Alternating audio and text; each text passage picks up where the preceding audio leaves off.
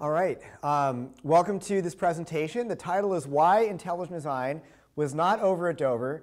The occasion is sort of the 10-year anniversary of the Dover ruling. The Dover ruling was issued on December 20th, 2005. And uh, today, obviously, we're about 10 years since that date.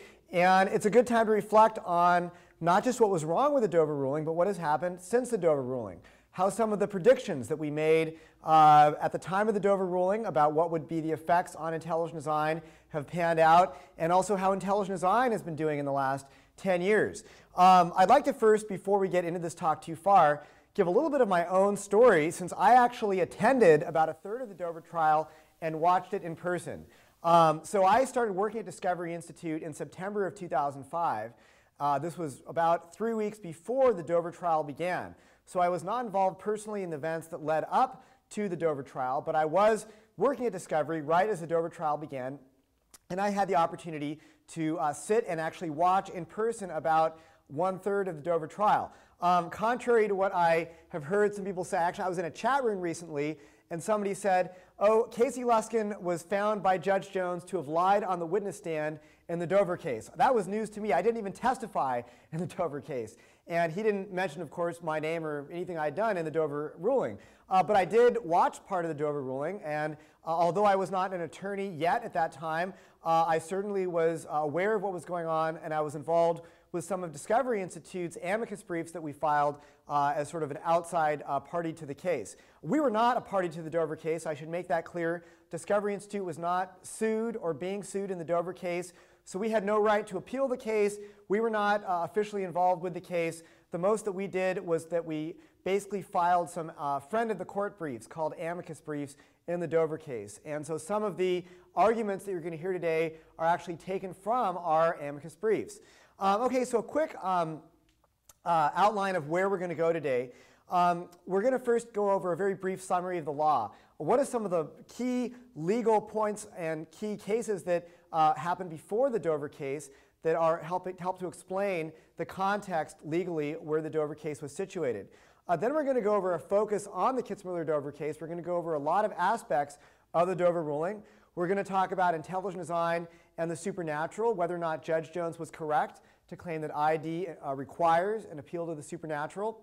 We're going to talk about Judge Jones's claim that ID has made no peer-reviewed publications and also that it has not undergone any testing or research. We're going to talk about this interesting claim Judge Jones made that ID uses this contrived dualism, essentially this claim that ID is simply a negative argument against evolution that has no positive content, and that somehow that makes ID, whether or not that's true, and if it is true, does that make ID sort of an unscientific claim?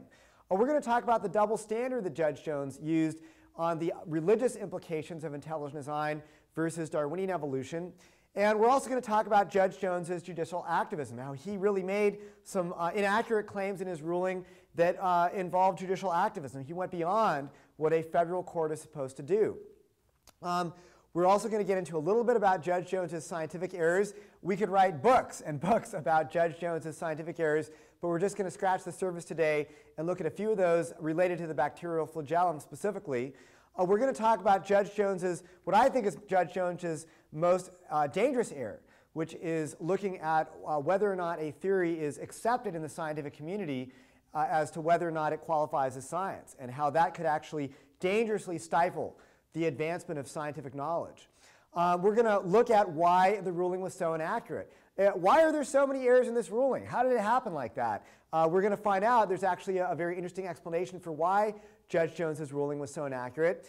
And then finally, we'll close it up with a summary of some of the problems with the Kitzmiller versus Dover ruling, and also look at how ID is thriving in the post-Dover environment. Contrary to many statements by uh, some ID critics, ID is not dead, and it did not die at Dover, and actually ID has been thriving in the last decade since the Dover ruling. Okay, so let's jump into this. A brief summary of the law. Um, let's look at some of the major points of law that have happened over the last 40 or 50 years, um, starting with the first case that the U.S. Supreme Court took to deal with this issue. That was the Epperson versus Arkansas case. It came down in 1968, and in this case, essentially, the U.S. Supreme Court declared it was effectively illegal to prohibit the teaching of evolution. So this is basically saying that not only is it legal to teach evolution, it's essentially Ill illegal if you don't teach evolution. And so this was the first time the U.S. Supreme Court ruled on this issue, a very groundbreaking case. And in my opinion, it should be legal to teach evolution. I think evolution can be taught as a science. I think students need to learn about evolution. I think it's a bad idea to ban evolution. So in a sense, I agree with the Supreme Court's holding in this case that it certainly should be legal to teach the scientific evidence supporting evolution. Uh, the next case to, to reach the U.S. Supreme Court was the 1987 case Edwards versus Aguillard.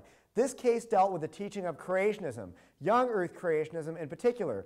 And in this case, the US Supreme Court essentially declared that teaching creationism is unconstitutional because teaching creationism involves the view that there is a supernatural creator behind all of life. And when you teach that, that is a religious belief according to the Supreme Court in this case, and that's unconstitutional. We'll talk about this case some more later on in this lecture. Um, an interesting point of law that also came out of the 1987 Supreme Court Edwards versus Aguillard case is that it is legal to actually teach scientific critique of prevailing scientific theories like evolution. And again, I would agree with the US Supreme Court very much on this uh, holding that it is in fact legal to teach scientific critique of prevailing scientific theories like evolution.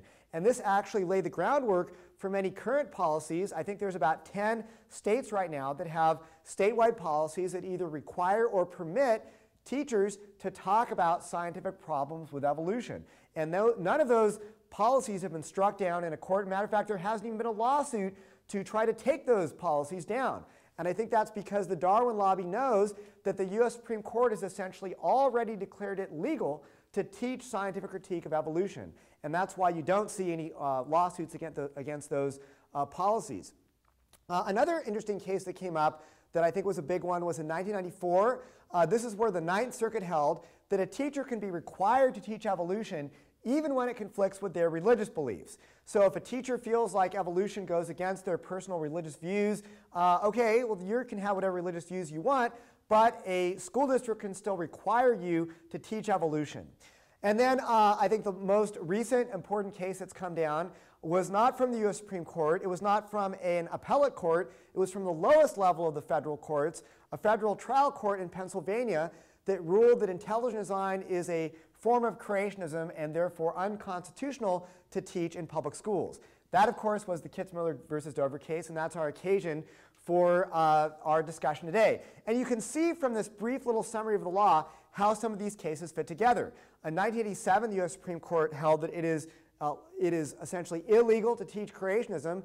And so then in 2005, when the Dover case came down, you have a federal court saying that ID is a form of creationism, and then using the Edwards versus Aguillard case as precedent says, okay, because creationism is unconstitutional, so is intelligent design. Uh, we're going to talk today about whether or not ID ought to be considered a form of creationism. I'm going to argue, in my opinion, pretty convincingly that ID is distinct from creationism in some of the most important ways that actually caused creationism to be declared unconstitutional. In fact, ID lacks that key characteristic that caused creationism to be declared unconstitutional in the Edwards versus Aguillard case, and that ID does not involve appealing to a supernatural creator. So we'll see how ID really is different from creationism in a number of important ways and should not be considered unconstitutional. Another little review of the law here is the First Amendment. Of course, that's the context for all of this, right? Uh, what does the U.S. Constitution say about what the government can or cannot do? Um, well, the first uh, clause of the First Amendment says that Congress shall make no law respecting an establishment of religion. Sometimes you'll hear people say, well, okay, that applies to Congress, but that doesn't apply to school boards, that doesn't apply to state governments. Well, go further down uh, the Constitution and look at the uh, 14th Amendment, the 13th, 14th, and 15th Amendment, amendments that were passed in the wake of the Civil War. They essentially applied the Bill of Rights, including the First Amendment, to the states. So I'm sorry, but the, this First Amendment, you may think it doesn't apply to uh, other forms of government like the state government or local governments like school boards. But according to the 14th Amendment, um, essentially the First Amendment does apply to these other uh, state and local governments. Um, another important uh, law, uh, legal test to understand is the Lemon test. We're going to get into this some more over the course of this uh, discussion today. But the Lemon test has essentially been the primary judicial vehicle that has been used since the early 1970s to decide cases involving religion in public schools, okay? And so the Lemon test is a three-part test. It comes from the 1971 case, Lemon versus Kurtzman, and it says that every government policy has to pass this three-part test in, in order for it to be constitutional. So first, the statute must have a secular legislative purpose.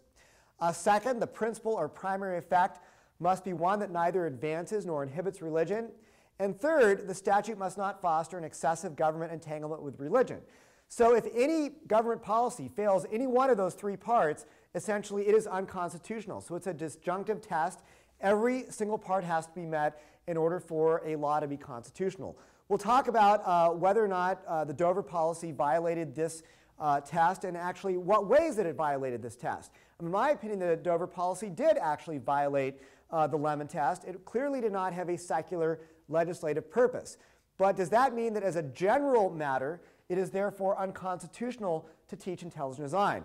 Those are two different questions, but Judge Jones got them conflated and mixed them up in his ruling.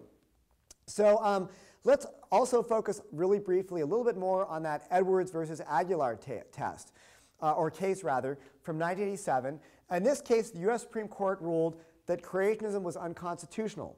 This started after the state of Louisiana had passed what was called a Balanced Treatment Act, requiring that no school is required to teach both evolution or creation science, but if one view is taught, then the other is taught. So if you teach one, you got to teach the other. That's basically what the law said. I'm not saying I agree with this approach. I, I actually don't agree with these quote unquote balanced treatment approaches. Uh, but in any case, the court found that the statute failed the Lemon test because the actual legislative purpose, the court said, was to advance, quote, the religious belief that a supernatural creator was responsible for the creation of humankind. So this is interesting. Um, in the field of religion and the law, the case, the case law is often very murky. We don't often get bright line rules. Bright line means very clear legal tests. But here we have this very clear legal statement that essentially the belief that there is a supernatural creator is a religious belief and is unconstitutional to teach in public schools. So if you're claiming that there's some kind of a supernatural creator, then according to the Supreme Court, that is a religious belief that is unconstitutional to teach in public schools. And that's why the court held that creationism is unconstitutional. But they sort of showed very clearly that creationism involves the belief that there's a supernatural creator, and that's a religious belief.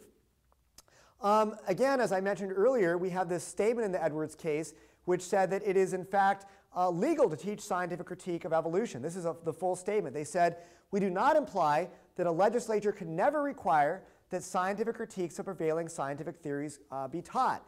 Teaching a variety of scientific theories about the origins of humankind to school children might be validly done with the clear secular intent of enhancing the effectiveness of science instruction. So if you want to teach critiques of scientific theories like evolution, you want to teach uh, non-evolutionary views that are scientific uh, that's okay, according to this statement in the Edwards ruling. Uh, okay, so let's get into the Dover case now.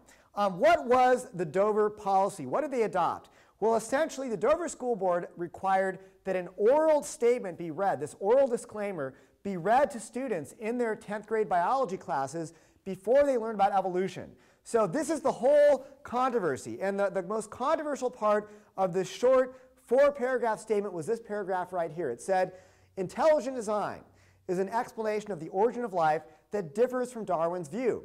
The reference book of Pandas and People is available for students who might be interested in gaining an understanding of what intelligent design actually involves.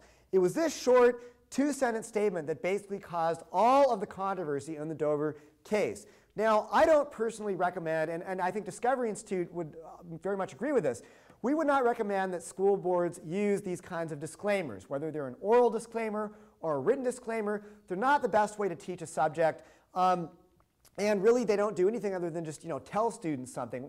Much better to actually show them you know, an idea if you want to talk about it.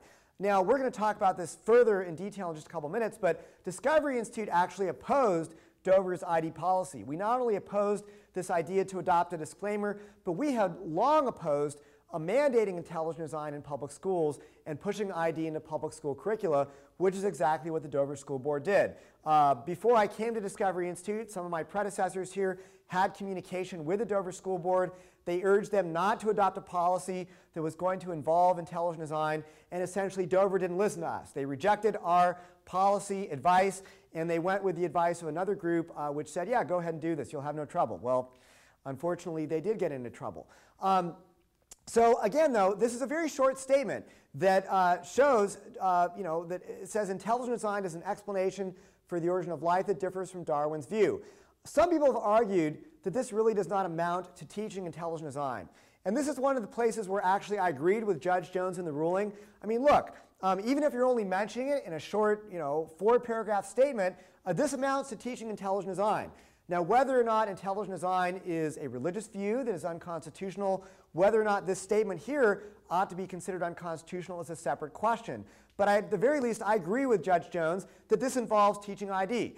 Uh, I don't think that this Dover School Board should have been teaching ID, but at the very least, they, are, uh, they were doing that. So uh, as I said, Discovery Institute opposed Dover's ID policy. In fact, um, very soon, uh, uh, around the time of the adoption of Dover's policy, Discovery Institute issued a public statement.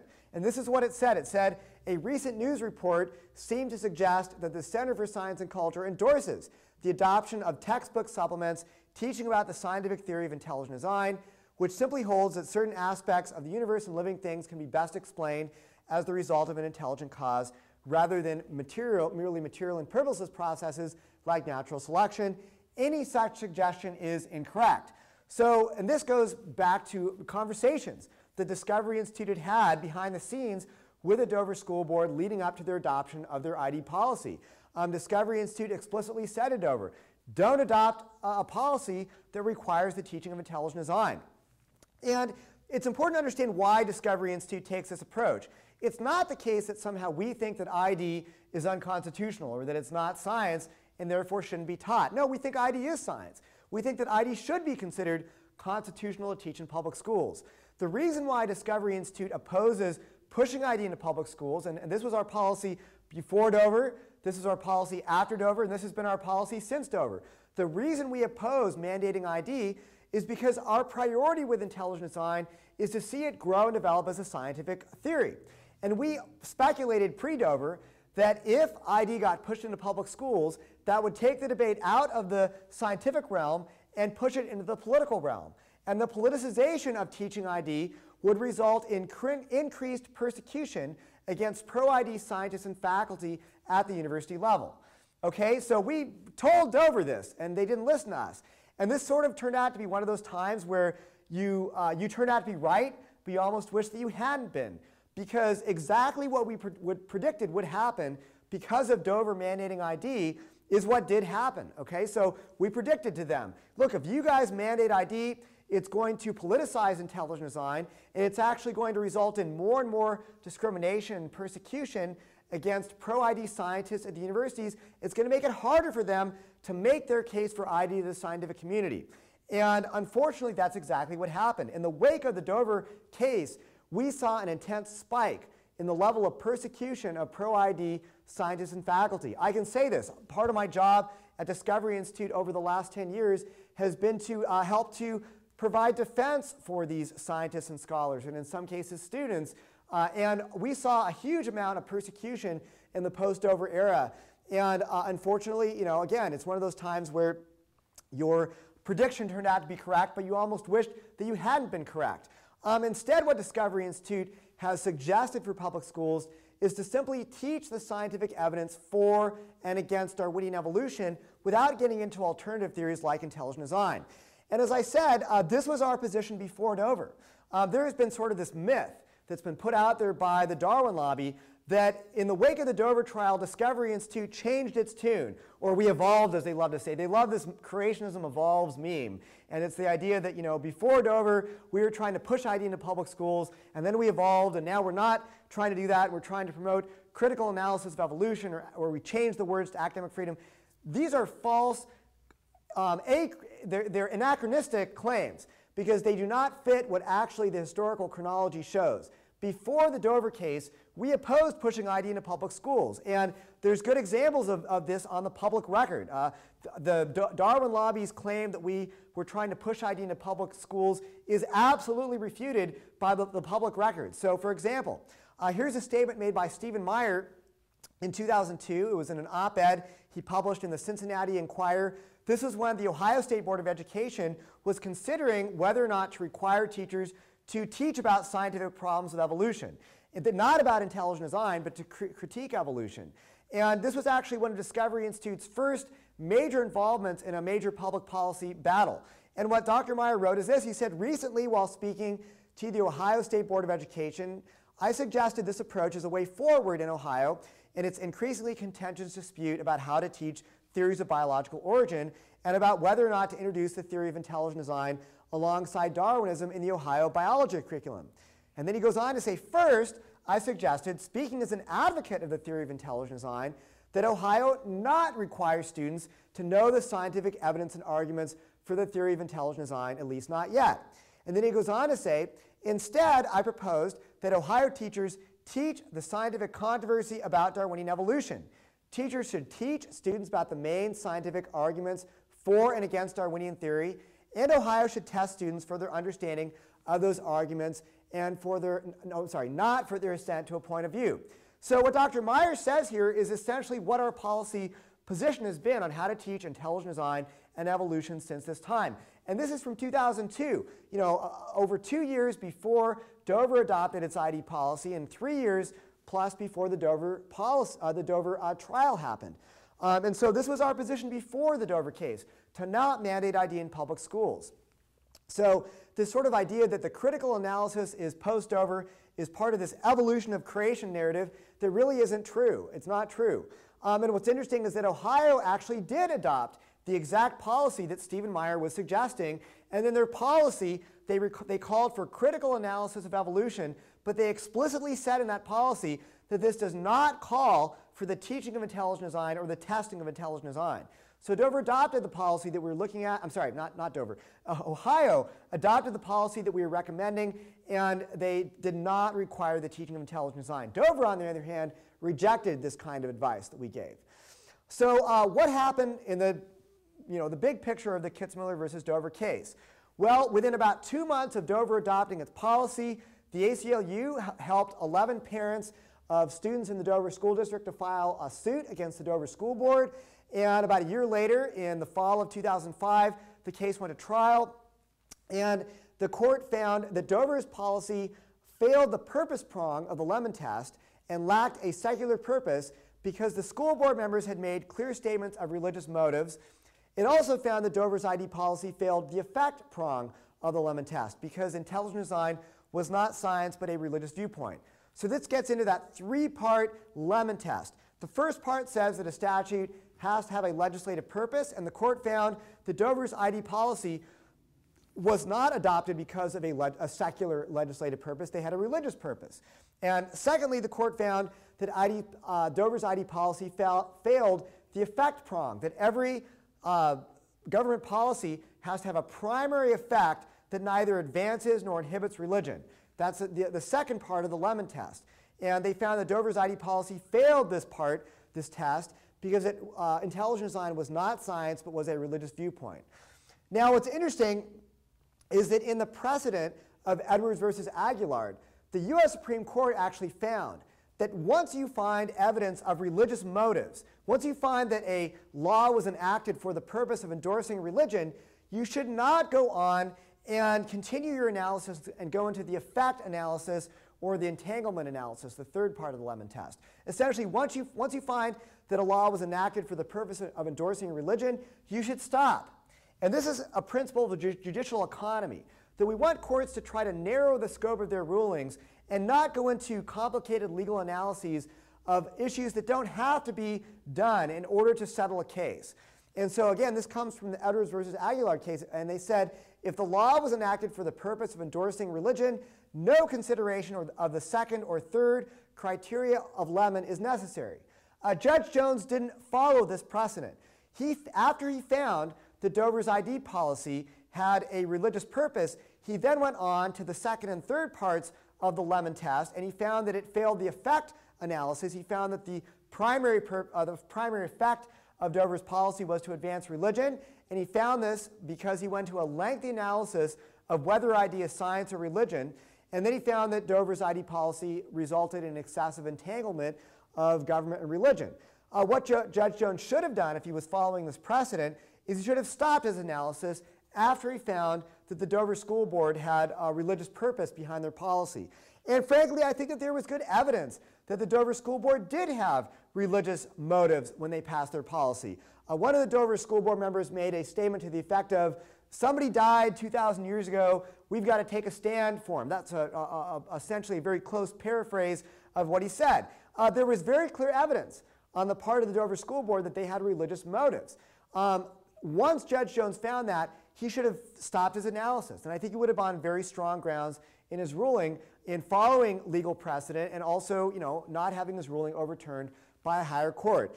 Instead, he didn't do that. Instead, he tried to go into a broad, sweeping analysis of whether ID is science, and we'll talk about this more later, and he addressed lots of, lots of complicated questions which go far beyond the scope of what the judiciary is supposed to do, like whether evolution conflicts with religion, how do we define science, whether the type 3 secretory system could have been a, a precursor to the flagellum. He really engaged in what we would call judicial activism by trying to settle cases and or issues and controversies that were far outside the scope of, of the case that was before him uh, in that lawsuit. Okay, so do we want judges defining science? Here's a good example of why we don't want judges to go into these broad analyses that go beyond the scope of the judiciary. Uh, Judge Jones said in his ruling, he says, since ID is not science, the conclusion is inescapable that the only real effect of the ID policy is the advancement of religion. So, okay, what's, what's wrong with this statement? What's wrong with this statement? Well, anybody who's taken a basic course in philosophy of science knows that just because something is not science doesn't necessarily mean that it's religion. There are many things that are neither science nor religion. Uh, history, uh, may arguably archaeology, philosophy, uh, psychology, um, maybe you know uh, breakfast cereals. None of this is science, but it's also not religion. So there are many things out there that are neither science nor religion. But Judge Jones sort of promoted this false dichotomy, this contrived dualism that he promoted in his ruling, which said that if ID is not science, then the conclusion is inescapable that the only real effect of the ID policy is the advancement of religion. Well, what if ID is something else? What if ID is philosophy? Or what if it's uh, you know, some form of, of uh, history? All those things could be the case, in which case, just because ID is in science doesn't therefore mean that it's religion. Now, of course, I would argue that ID is science, and we'll talk about this more in this discussion about why ID is science. But uh, I think that this is a good example of why we don't want judges defining science. They make poor philosophers of science. They make sort of these rookie errors, thinking that if something isn't science, that therefore it's religion. And of course, that's very poor philosophy of science, but unfortunately, that was canonized into law in Judge Jones's ruling. Um, here's the definition of science that Judge Jones gave. It's a six-part test that he applied to find that ID is not science. So again, this is a, a major reason why we don't want judges defining science. And we'll look at this uh, definition of science that Judge Jones used in some detail, and we'll talk about how each of the six criteria in this uh, test for whether something is science were either irrelevant or he got his analysis wrong when he was analyzing whether ID is science. So number one, uh, Judge Jones says that ID violates the centuries-old ground rules of science by invoking and permitting supernatural causation. Uh, two, the argument of irreducible complexity central to ID employs the same flawed and illogical contrived dualism that doomed creation science in the 1980s. And three, ID's negative attacks on evolution have been refuted by the scientific community. And he went on to make three other criteria. He said, uh, this is number four, ID has failed to gain acceptance in the scientific community. Uh, number five, it has not generated peer-reviewed publications. Nor six, has it been the subject of research and testing. We'll go through each of these and talk about, uh, first of all, whether they're even relevant to deciding whether ID is science, and then second, uh, whether or not Judge Jones's analysis on each of these six items was wrong. And we'll find that in each case, each criterion is either false or irrelevant or both to determining whether ID is science. So this was very poor analysis on Judge Jones's part. This is why we don't want judges going to these broad, sweeping analyses trying to define science. So A, ID in the supernatural. Well, Judge Jones said in his ruling that ID violates the centuries-old ground rules of science by invoking and permitting supernatural causation. Okay? And just in case you didn't get it, he said this in multiple other places. He said ID's religious nature is evident because it involves a supernatural designer Uh, he even went further and said ID requires supernatural creation. I mean, he said ID requires supernatural creation. So is this true that ID requires supernatural creation? Well, I think there's lots of evidence that it is not, but as a first piece of evidence, let's look at the, at the Pandas and People textbook that was referenced in Dover's oral disclaimer that was part of a big part of this case. That textbook actually says that scientists fail to distinguish between intelligence, which can be recognized by uniform sensory experience, and the supernatural, which cannot. So what is this textbook saying? What it's saying is that the supernatural cannot be recognized by the uniform sensory experience that's at the heart, that's at the heart of science. So if science is appealing to the supernatural, what it's saying is that science cannot appeal to the supernatural, that our uniform sensory experience, the standard methods of science that we use, cannot get us to a conclusion about the supernatural. We'll see more examples of how the Pandas textbook said this in just a moment. So what the textbook said is that we can use science to infer intelligent causes, but we cannot use science to infer the supernatural. So obviously this textbook is promoting intelligent design, and if you read on in this textbook, it makes it very clear that we cannot, through the methods of, methods of science, infer that the intelligent cause responsible for life was a supernatural cause. And it actually says explicitly that science cannot study the supernatural. So I think the Dover textbook actually respects this so-called rule that Judge Jones says is at the ground rule of science that we cannot invoke the supernatural. Of course, that rule is also known as methodological naturalism. It's the idea that we can only invoke uh, naturalistic, non-supernatural causes when we are doing scientific investigation. Whether or not that rule is valid and whether or not that rule is a good rule for science, it's pretty clear that ID does not violate that rule and that the textbook, the ID textbook at the heart of this case, um, also did not violate methodological naturalism. It explicitly says we cannot study the supernatural through science. Uh, let's look at another example where the Dover textbook says this. It says, appeals to intelligent design may be considered in science, as illustrated by current NASA search for extraterrestrial intelligence, SETI. Archaeology has pioneered the development of methods for distinguishing the effects of natural and intelligent causes. We should recognize, however, that if we go further and conclude that the intelligence responsible for biological origins is outside the universe, supernatural, or within it, we do so without the help of science. So what this quote from the Pandas textbook is saying is that intelligent design only appeals to an intelligent cause. And if we go further and conclude that that intelligence is supernatural or natural, we're going beyond what we can learn through science. And so as a result, the Pandas textbook, and this is consistent with what ID proponents have been saying in pretty much all of their major writings for a long time, all intelligent design as a theory appeals to is an intelligent cause. We don't go beyond that and try to determine whether or not that cause is supernatural or natural, because that goes beyond what we can learn through a scientific investigation. Um, now, Judge Jones ignored these quotes from the Pandas textbook, but he did actually quote the Pandas textbook in one place. Uh, here's what he said. He said, an explicit concession that the intelligent designer works outside the laws of nature and science and a direct reference to religion is Panda's rhetorical statement, what kind of intelligent agent was it, the designer? An answer, on its own, science cannot answer this question. It must leave it to religion and philosophy. Now, it turns out that there's actually a much uh, longer part of this quote that Judge Jones ignored. So let's look at the full quote from Pandas, the actual quote, to see what the textbook is really saying.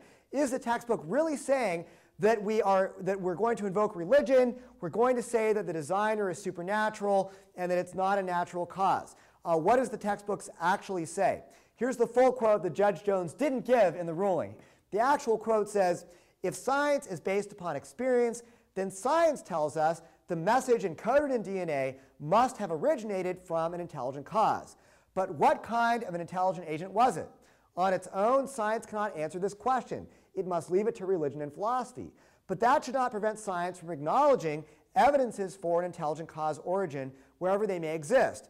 So rather than invoking religion and saying that the intelligent cause is supernatural, Pandas quite explicitly leaves it at just an intelligent cause. That is as far as the Pandas textbook goes when it talks about what, you know, the nature of the designer. It says that there is an intelligent cause. And it explicitly doesn't get into the question of whether or not that designer is natural or supernatural. So yeah, religion and philosophy will have to answer that question, but the Pandas textbook isn't trying to answer that question. It's not trying to get into religion and philosophy. All the Pandas textbook does is invoke and infer an intelligent cause. And it says, look, science can detect an intelligent cause wherever they may exist. But that's all it can do. And as we saw in the other quotes, it says if you go further and, and appeal to a supernatural intelligence or a natural one, now you're going beyond what the, the data from biology can tell us. And you know, this is not some kind of a uh, strategy, a legal strategy, or we're not being coy here. Think about the way intelligent design works. Let's say, for the sake of argument, that the information that encodes the bacterial flagellum uh, in the DNA, that points to an intelligent cause. Okay, we have this digital language-based code that's encoding a, an irreducibly complex rotary engine. I mean, that's a great argument for an intelligent designer that's needed to produce that information. But that information in the DNA, it doesn't say made by Yahweh or made by Allah or made by Buddha or made by Yoda or made by whoever you think the designer is. All that information is, is it's a language-based digital code that encodes a, an irreducibly complex molecular machine, a rotary engine. That's a great argument for an intelligent cause that's needed. But if you go further and try to say, okay, well, the intelligent cause that made this information in this machine um, is, you know, the supernatural God of the Bible, or it's, you know, Zortan from planet Xenu. If you're saying that, you're going beyond what we can learn through a scientific investigation. So intelligent design tries to respect the limits of science. It tries to not go beyond what we can learn from the scientific evidence alone. And all the data is here is a digital-based language uh, code, language-based code in the DNA in a molecular machine. That information alone is only enough to tell us that there was an intelligent cause origin. And just like Panda said, if we go beyond that and say that, okay, this designer here that made this was supernatural or natural, we're going beyond what we can learn through the scientific evidence. So as a result, intelligent design, out of a desire to respect the limits of science, doesn't get into those larger religious questions about who the designer was. It limits its conclusions to an intelligent cause. And of course, ID theorists, by and large, are very open about who they believe the designer is or what their own personal religious beliefs are about the designer. Uh, we'll see in just a moment that Michael Behe was very open, even during the Dover trial, that he believes the designer is God. But he makes it clear that that's his own personal religious belief, not a conclusion of intelligent design. So the point here is the Pandas textbook nowhere attempts to answer the question of who the designer is. So when Judge Jones claims that Panda's statement is trying to actually invoke religion to appeal to a supernatural creator, he's simply putting words in Panda's mouth that it doesn't state. And Judge Jones's uh, misquote of Pandas is quite bad. If he had quoted the actual quotes from Pandas, it would have been very clear that Pandas nowhere attempts to address or answer the question of what is the identity of the designer, is the designer supernatural or not. It does not try to address those questions. Um, instead, what Judge Jones did to try to uh, claim that pandas was really creationism in disguise is he looked at these pre-publication drafts of pandas. Now, these were uh, drafts of this textbook that had been written in the early to mid 1980s, some 20 years before the Dover case even came about. Nobody even knew that these drafts existed. But Judge Jones said that somehow these drafts that had been locked up in you know, bankers' boxes for 20 years that nobody had ever seen, that somehow they would have showed uh, a reasonable observer in the Dover School District that ID is creationism. And the, the claim that was made was that the early drafts of the Pandas textbook used creationist terminology. And that after the Edwards versus Aguillard ruling that struck down creationism, they changed the terminology and started using intelligent design terminology out of a legal strategy to evade this ruling. That was sort of the, the narrative that was being told. Well, what's interesting is that when we look at the pre-publication drafts of pandas, yes, sometimes they did use creation type terminology, but when they used that terminology, they used it in a different way from the way that creationists use that terminology. As a matter of fact, they would say things that made it explicitly clear that they were not getting into religious questions about the supernatural. Uh, let me give you an example from a pre-publication draft of Pandas. Uh, here's a quote. It says, this is not merely the design or clockmaker argument of William Paley, which was long ago abandoned by scientists. There are two important differences. First, Paley's argument was to extrapolate to the supernatural from the clock.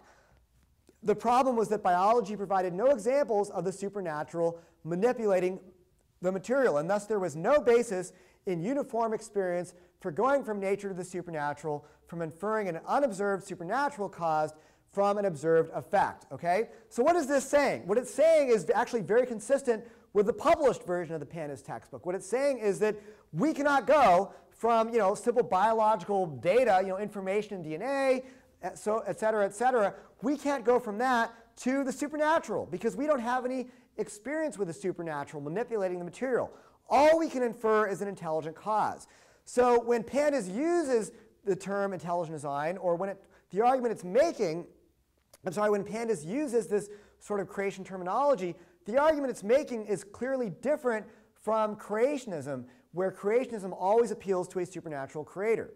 Here's another interesting quote. I'll read the quote in the red box at the bottom of the slide. It says, some master, and I'll read the whole slide. Uh, the second difference is that unlike Paley's day, we have scientific tools and terminology to distinguish between order and information and to quantify the latter, whether encountered on the pages of a book, in the face of a mountain, or in biology. Thus, from the observation that human intelligence can communicate by manipulating sequences of alphabetic letters, creationists infer that a similar kind of intelligence was responsible for the message sequence of nucleotide letters in DNA. Some master intellect is the creator of life, but such observable instances of information cannot tell us if the intellect behind them is natural or supernatural. This is not a question science can answer. So this is a great example of what we're talking about here. This is a pre-publication draft that uses this creationist terminology, uh, saying creationists infer that similar kind of intelligence was involved and talking about a creator of life, okay? But then it goes on to say that the information in life, quote, cannot tell us if the intellect behind them is natural or supernatural. That's very different from what you would have been hearing creationists saying back in the 1980s. Creationists always appeal to the supernatural. And in fact, this is why in the Edwards versus Aguillard ruling, which happened in 1987, the US Supreme Court found that a supernatural creator is a religious view and that creationism is unconstitutional because it postulates a supernatural creator. Um, creationism always postulates some kind of a supernatural creator, yet here we have creationist terminology being used alongside the claim that we cannot tell if the intellect behind life is natural or supernatural. This is not a question that science can answer. So the substance of what these pre-publication drafts of pandas is saying is very different from the typical thing you would hear a creationist say. In fact, it's different in a way that is legally important because it shows that ID is really lacking this very quality of, of appealing to a supernatural creator that caused creationism to be declared unconstitutional. Uh, let's look at one more quote from a, from a pre-publication draft. It says, the point of clarification to be made is this. We can know from uniform sensory experience and thus from science about the material world. But there are two things about which we cannot learn through uniform sensory experience. One is the supernatural, and so to teach it in science classes would be out of place. The other thing we cannot learn through uniform sensory experience is that there is no supernatural, i.e. that natural causes identified through sensory experience exhaust reality. We cannot detect evidence for philosophical naturalism. To teach either of these two, even by the presumption of excluding the other, is to yield the classroom to apologetics, either the apologetics of theism or the apologetics of philosophical naturalism. Thus, science can identify an intellect, but is powerless to tell us if that intellect is within the universe or beyond it. So Judge Jones ignored all these quotes from the pre-publication drafts of pandas. If he had quoted these, it would have been very clear that even these pre-publication drafts made it clear that the textbook was not getting into the fundamental question of whether there is a supernatural or not. Uh, the, the, the basic project that pandas had in mind was fundamentally different from the creationist project that was so common in the 1980s. And so I think this is very significant. Judge Jones claimed that these, this creationist terminology showed that pandas was actually trying to uh, promote creationism, and they changed the terminology to hide it. But the reality is the terminology was not changed because they were trying to hide what, where, what they were doing was creationism. No, it's because what they were doing was substantively different from creationism, and they needed new terminology to make that clear. And if you want to understand you know, where, how we can see that, look no further than the deposition testimony of Charles Thaxton. He was the academic editor for the Pandas and People textbook. He's a chemist. He was involved in the writing of, these, of the Pandas textbook, and he was involved in the creation of these pre-publication drafts of Pandas back in the 1980s. Uh, he wasn't called to testify during the actual Dover trial, but he was deposed by uh, the ACLU's attorneys before the case. Here's what he said. He said, and he was asked, you know, why did you guys change the terminology in the pre-publication drafts from creationist terminology to intelligent design terminology? And here's what he said. He said, I wasn't comfortable with the typical vocabulary that for the most part creationists were using because it didn't express what I was trying to do. They were wanting to bring God into the discussion, and I was wanting to stay within the empirical domain and do what you can legitimately do there. So what Dr. Thaxton is saying here is creationism was doing something he didn't want to do. They were always getting into God and the supernatural and religion, and he wanted to construct a strictly scientific, a strictly empirically based argument for design without getting into all that religious baggage. And so he wasn't comfortable, he says, with the typical vocabulary that creationists were using. He wanted to find new terminology. And you can look at what uh, Thaxton has said elsewhere. We actually have a great podcast with uh, Dr. Thaxton where he talks about that he learned of the term intelligent design from a NASA engineer that he heard talking, and he thought, that's the kind of language I need. I need new language to distinguish my project from the creationist project. So then, of course, the, so, so Panda's terminology was changed, not to hide the fact that ID is creationism, because ID isn't creationism. It was to make it clear that ID is different from creationism. So the question often comes up, you know, why was Pandas using this creationist terminology to begin with if its project was different from creationism? Well, think about it. This book was written in the early 80s originally. And you know, all these drafts of this textbook were being written in the early to mid 1980s. At this time, creationism was sort of the only game in town when it came to non-evolutionary views. It was the only thing that existed. And so that was the terminology that everybody knew about. And so when they started to write this book, they sort of just naturally adopted the terminology that was out there in the culture. It was in the air at the time. But as they got going with their project, they realized, you know what? What we're doing is actually different from creationism. Creationism, well, let's go back to the, the Thaxton quote. Creationism is always trying to bring God and the supernatural into the, the discussion. And they decided they wanted to do something different to stay within the empirical domain and to not get into this religious stuff. And so they realized that they needed a new terminology, new vocabulary to distinguish their project from creationism. That is why the terminology was changed in the pre-publication drafts. And you can see that even in the pre-Edwards versus Aguillard drafts, that even pre-Edwards, before the Supreme Court struck down creationism, they already were saying, look, you can't get to the supernatural from science alone. So that alone shows that what they were doing was different from what caused creationism to be struck down in the Edwards case for postulating a supernatural creator. So uh, Judge Jones had clear evidence in, his, uh, in the, the trial record that ID does not require or invoke uh, supernatural creation. And in fact, uh, Scott Minnich, one of the pro-ID uh, scientists, he's a pro-ID microbiologist, he testified during the Dover trial. He was asked, do you have an opinion as to whether intelligent design requires the action of a supernatural creator? He said, I do. Uh, what is that opinion? It does not. Uh, Michael, Michael Behe wrote in a, uh, doc, in a paper that we cited to him in one of our amicus briefs. He says, as regards the identity of the designer, modern ID theory happily echoes Isaac Newton's phrase, hypothesis non fingo. And of course, hypothesis non fingo means I don't make any hypothesis. I don't feign any hypothesis. It's sort of like saying, look, I'm not trying to make a hypothesis about something that science cannot address. So ID does not address the identity of the designer. Uh, Behe testified very much the same during the Dover trial. He was asked, so is it accurate for people to claim or to represent that intelligent design holds that the designer was God? Behe says, no, that is completely inaccurate. Okay, he's asked, well, people have asked you your opinion as to who you believe the designer is. Is that correct? B answers, that is right. Has, and then he's asked, has science answered that question? And he answers, no, science has not done so. And he's asked, and I believe that you have answered on occasion that you believe the designer is God. Is that correct? And B, he says, yes, that's correct. Uh, and then he asks, are you making a scientific claim with that answer? And he says, no, I conclude that based on theological and philosophical and historical factors. So ID proponents, this is very consistent with how ID proponents have addressed the question of the identity of the designer. Uh, Michael Behe in this testimony is very clear. Yes, he says, I do believe the designer is God. Uh, but he's making it also clear that he's not saying that that's a scientific claim, that he concludes that based upon theology, philosophy, history, and other fields that are outside the realm of science. So intelligent design as a scientific theory does not try to address the identity of the designer. It only appeals to, appeals to an intelligent cause. Many ID proponents might have their own views about who the designer is, but that's their own personal religious beliefs. Um, they don't conclude that based upon the theory of intelligent design. And in fact, intelligent design includes people who are not religious. There are non-religious ID proponents. So how could ID have some kind of a you know, claim about the identity of the designer if its proponents don't have an agreement on who the designer is? There are ID proponents who don't even believe in God.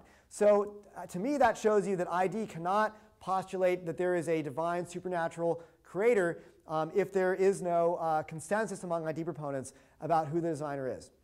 Okay, so going back to Edwards. Um, in the Edwards versus Aguillard ruling, it said the key rule from Edwards, the idea that a supernatural creator um, was responsible for the creation of humankind is a religious belief. That is the key rule from Edwards. Supernatural creator is a religious belief. But does ID require supernatural causation? Well, according to the testimony given to him, Judge Jones, in this case, it does not. Uh, both the pro-ID expert witnesses, Michael Behe and Scott Minnich, said no, ID does not require supernatural causation. Uh, other documents that were quoted to Judge Jones made that very clear. Unfortunately, Judge Jones uh, misrepresented intelligent design in the ruling, and he just ignored what pro-ID expert witnesses testified before him in his own courtroom. He did this so he could force, or try to force at least, the square peg of intelligent design into the round hole of creationism. Uh, but the reality is that ID lacks this key quality that caused creationism to be declared religion by the U.S. Supreme Court in Edwards versus Aguillard. ID only appeals to an intelligent cause. It tries to res respect the limits of science, so it doesn't address whether that cause is natural or supernatural. And as a result, ID lacks this key characteristic of appealing to a supernatural creator that caused creationism to be struck down as a religious view. And so I, you cannot fit this square peg of intelligent design into the round hole of creationism. Again, ID lacks the key characteristic that caused creationism to be declared unconstitutional, and Judge Jones basically uh, ignored the definition of intelligent design given by pro-ID expert witnesses in his courtroom, and he misdefined intelligent design in his ruling. Okay, let's look at a couple other uh, issues that Judge Jones got wrong here. Um, you know, perhaps we can debate whether or not uh, ID involves a supernatural creator. I think the evidence is pretty clear that it doesn't. But it should be a pretty black and white question about whether or not ID proponents have generated peer-reviewed pro-ID publications. Uh, Judge Jones says ID has not generated peer-reviewed publications. In case you didn't get that, once again, he said in I think five other places, ID is not science. It cannot be adjudged a valid accepted scientific theory as it has failed to publish in peer-reviewed journals in addition to failing to produce papers in peer-reviewed journals.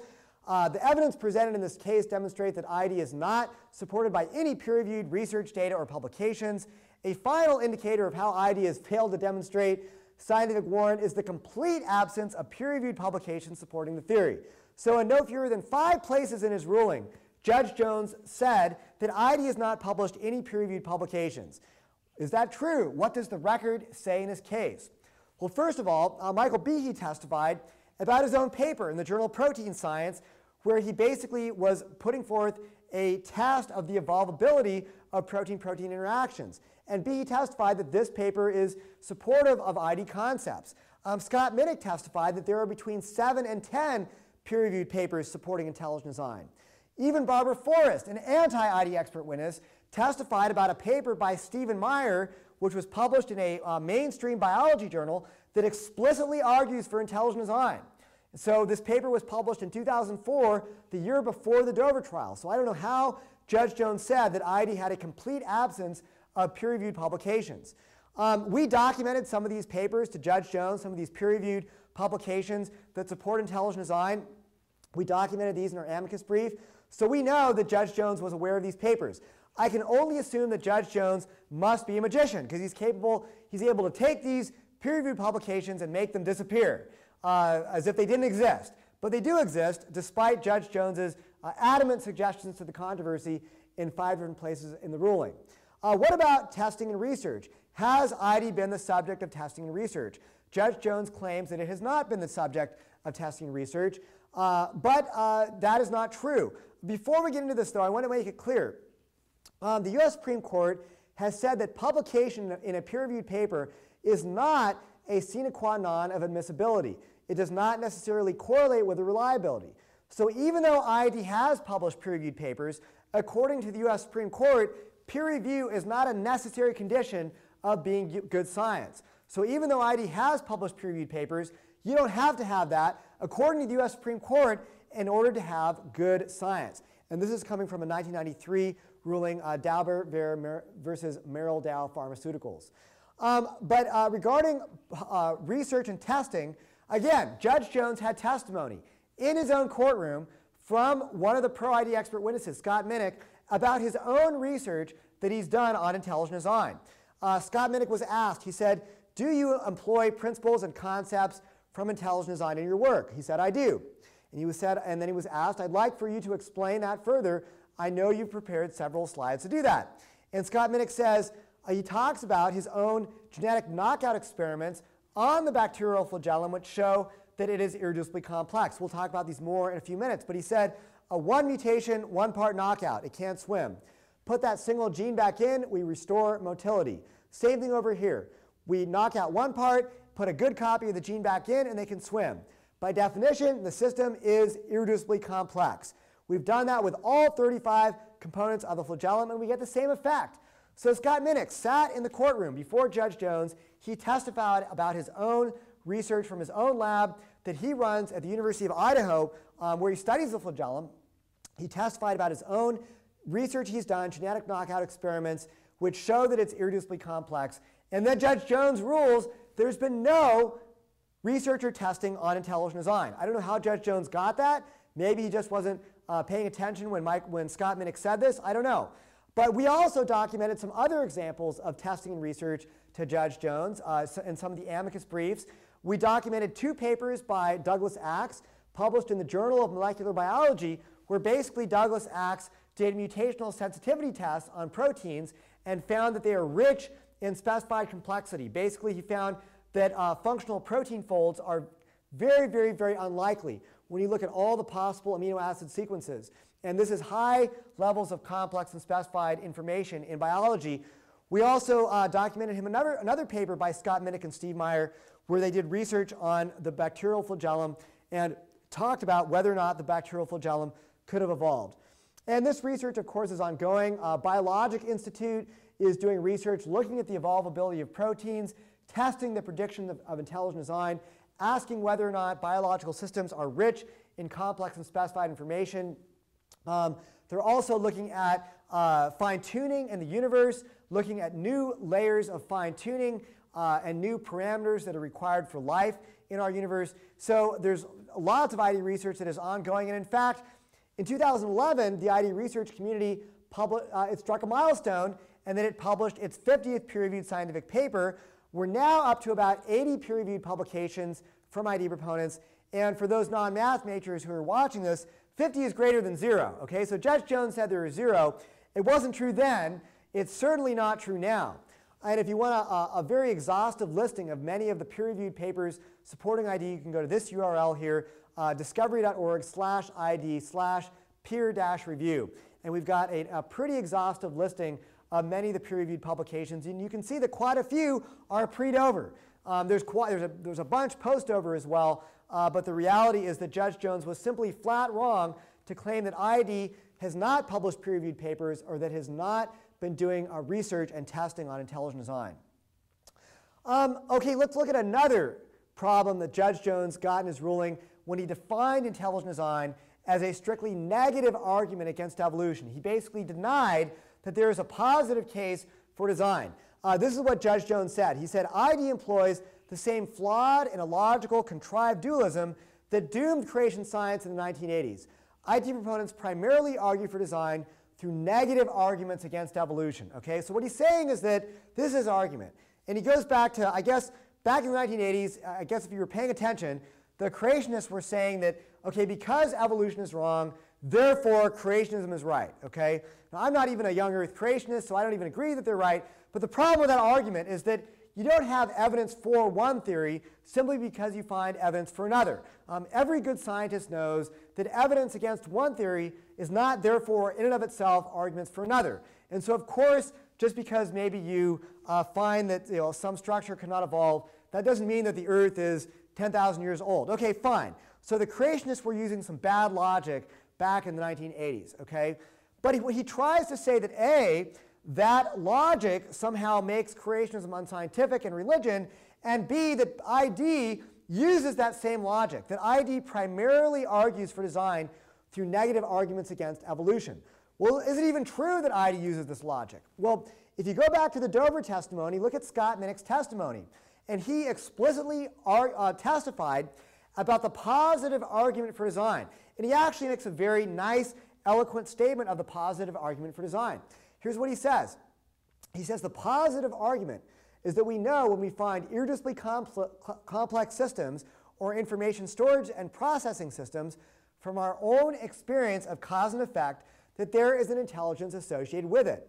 And so it is logical to assume when we find these systems in a cell, if we can, if the flagellum is irreducibly complex, then yes, there's an intelligence behind it. That's a uniformitarian deduction from cause and effect that we know from our everyday experience. So this is a very nice statement that the positive argument for design is that whenever we know of the origin of an irreducibly complex system or some information storage and processing system, in all of our experience with cause and effect, there's always an intelligence associated with the origin of that system. And so when we find these very kinds of systems in the cell, irreducibly complex molecular machines, information storage in our DNA, or information processing to convert the information in proteins to, uh, pro I'm sorry, the information in DNA to proteins, when we find these kinds of systems in a cell, we are justified in inferring that there was an intelligent cause responsible for them. Um, here's another nice statement from a uh, paper that was published by Scott Minnich and Steve Meyer in a scientific uh, conference proceedings, and we documented this statement to Judge Jones. It says, in all irreducibly complex systems in which the cause of the system is known by experience or observation, intelligent design or engineering played a role in the origin of the system. Although some may argue this is merely an argument from ignorance, we regard it as an inference to the best explanation given what we know about the powers of intelligence as opposed to strictly natural or material causes. So here they're making a positive argument that in all of our experience with the origin of irreducibly complex systems, they come from an intelligence. And so when we find these systems in the cell, we're justified in inferring an intelligent cause was involved in their origin. So this is not strictly a negative argument against evolution. It's a positive argument for design based upon finding in nature the kind of information and complexity which in our experience always comes from intelligence. And these were documented to Judge Jones, and he just ignored this testimony. Uh, here's another piece of testimony that, doc, that Judge Jones ignored uh, from Michael Behe. Michael Behe testified, this argument for design is an entirely positive argument. This is how we recognize design by the purposeful arrangement of parts. Now this is sort of a very rudimentary positive argument, but it's a nice summation of the positive argument for design. Whenever we find a purposeful arrangement of parts, that always indicates an intelligent design was behind it. In our experience, that always comes from intelligence. So again, uh, Judge Jones just ignored the way that ID proponents defined their own theory. That they, he ignored the way that they offered this positive argument for design, and instead he claimed that ID is simply a negative argument against evolution, that we argue for design simply by negating evolution, and that's simply not how ID works. So again, the bottom line is that Judge Jones defined ID as a strictly negative argument against evolution that appeals to the supernatural. But ID is neither of those two things. So it's much easier to refute a position when you misconstrue it, right? But I would say that good scholarship lets somebody stake out their own position, and then you critique it, okay? If it fails, fine. If it doesn't fail, okay, we'll look at it. What Judge Jones didn't do is he didn't let ID proponents define their own position. Instead, he adopted this uh, false, contrived, and inaccurate strawman version of ID that was promoted by ID's critics. And he struck down that false version, that inaccurate, that straw man version of intelligent design, rather than the actual version of intelligent design that was put forth by ID proponents in his own courtroom during the trial. So this is not just bad law and bad science. I would say most of all, it's actually bad scholarship. Because when you're critiquing a viewpoint, again, you should always let your opponent stake out their own position, then you critique their actual position. Judge Jones did not do that. He critiqued a straw man, false version of intelligent design. And of course, this was the version of intelligent design that was being put forth by Ken Miller and other ID critics who misrepresented intelligent design, as they often do, uh, during the Dover trial. So uh, now we've looked at some of the errors in the Dover ruling. Let's look at what I call the Kitzmiller versus Dover double standard. That uh, Judge Jones um, adopted a double standard when he looked at the religious implications or the religious associations of ID versus Darwinian evolution. So essentially, the way he framed his ruling is that religious or anti-religious implications, they always count ID against ID, but not against Darwinism.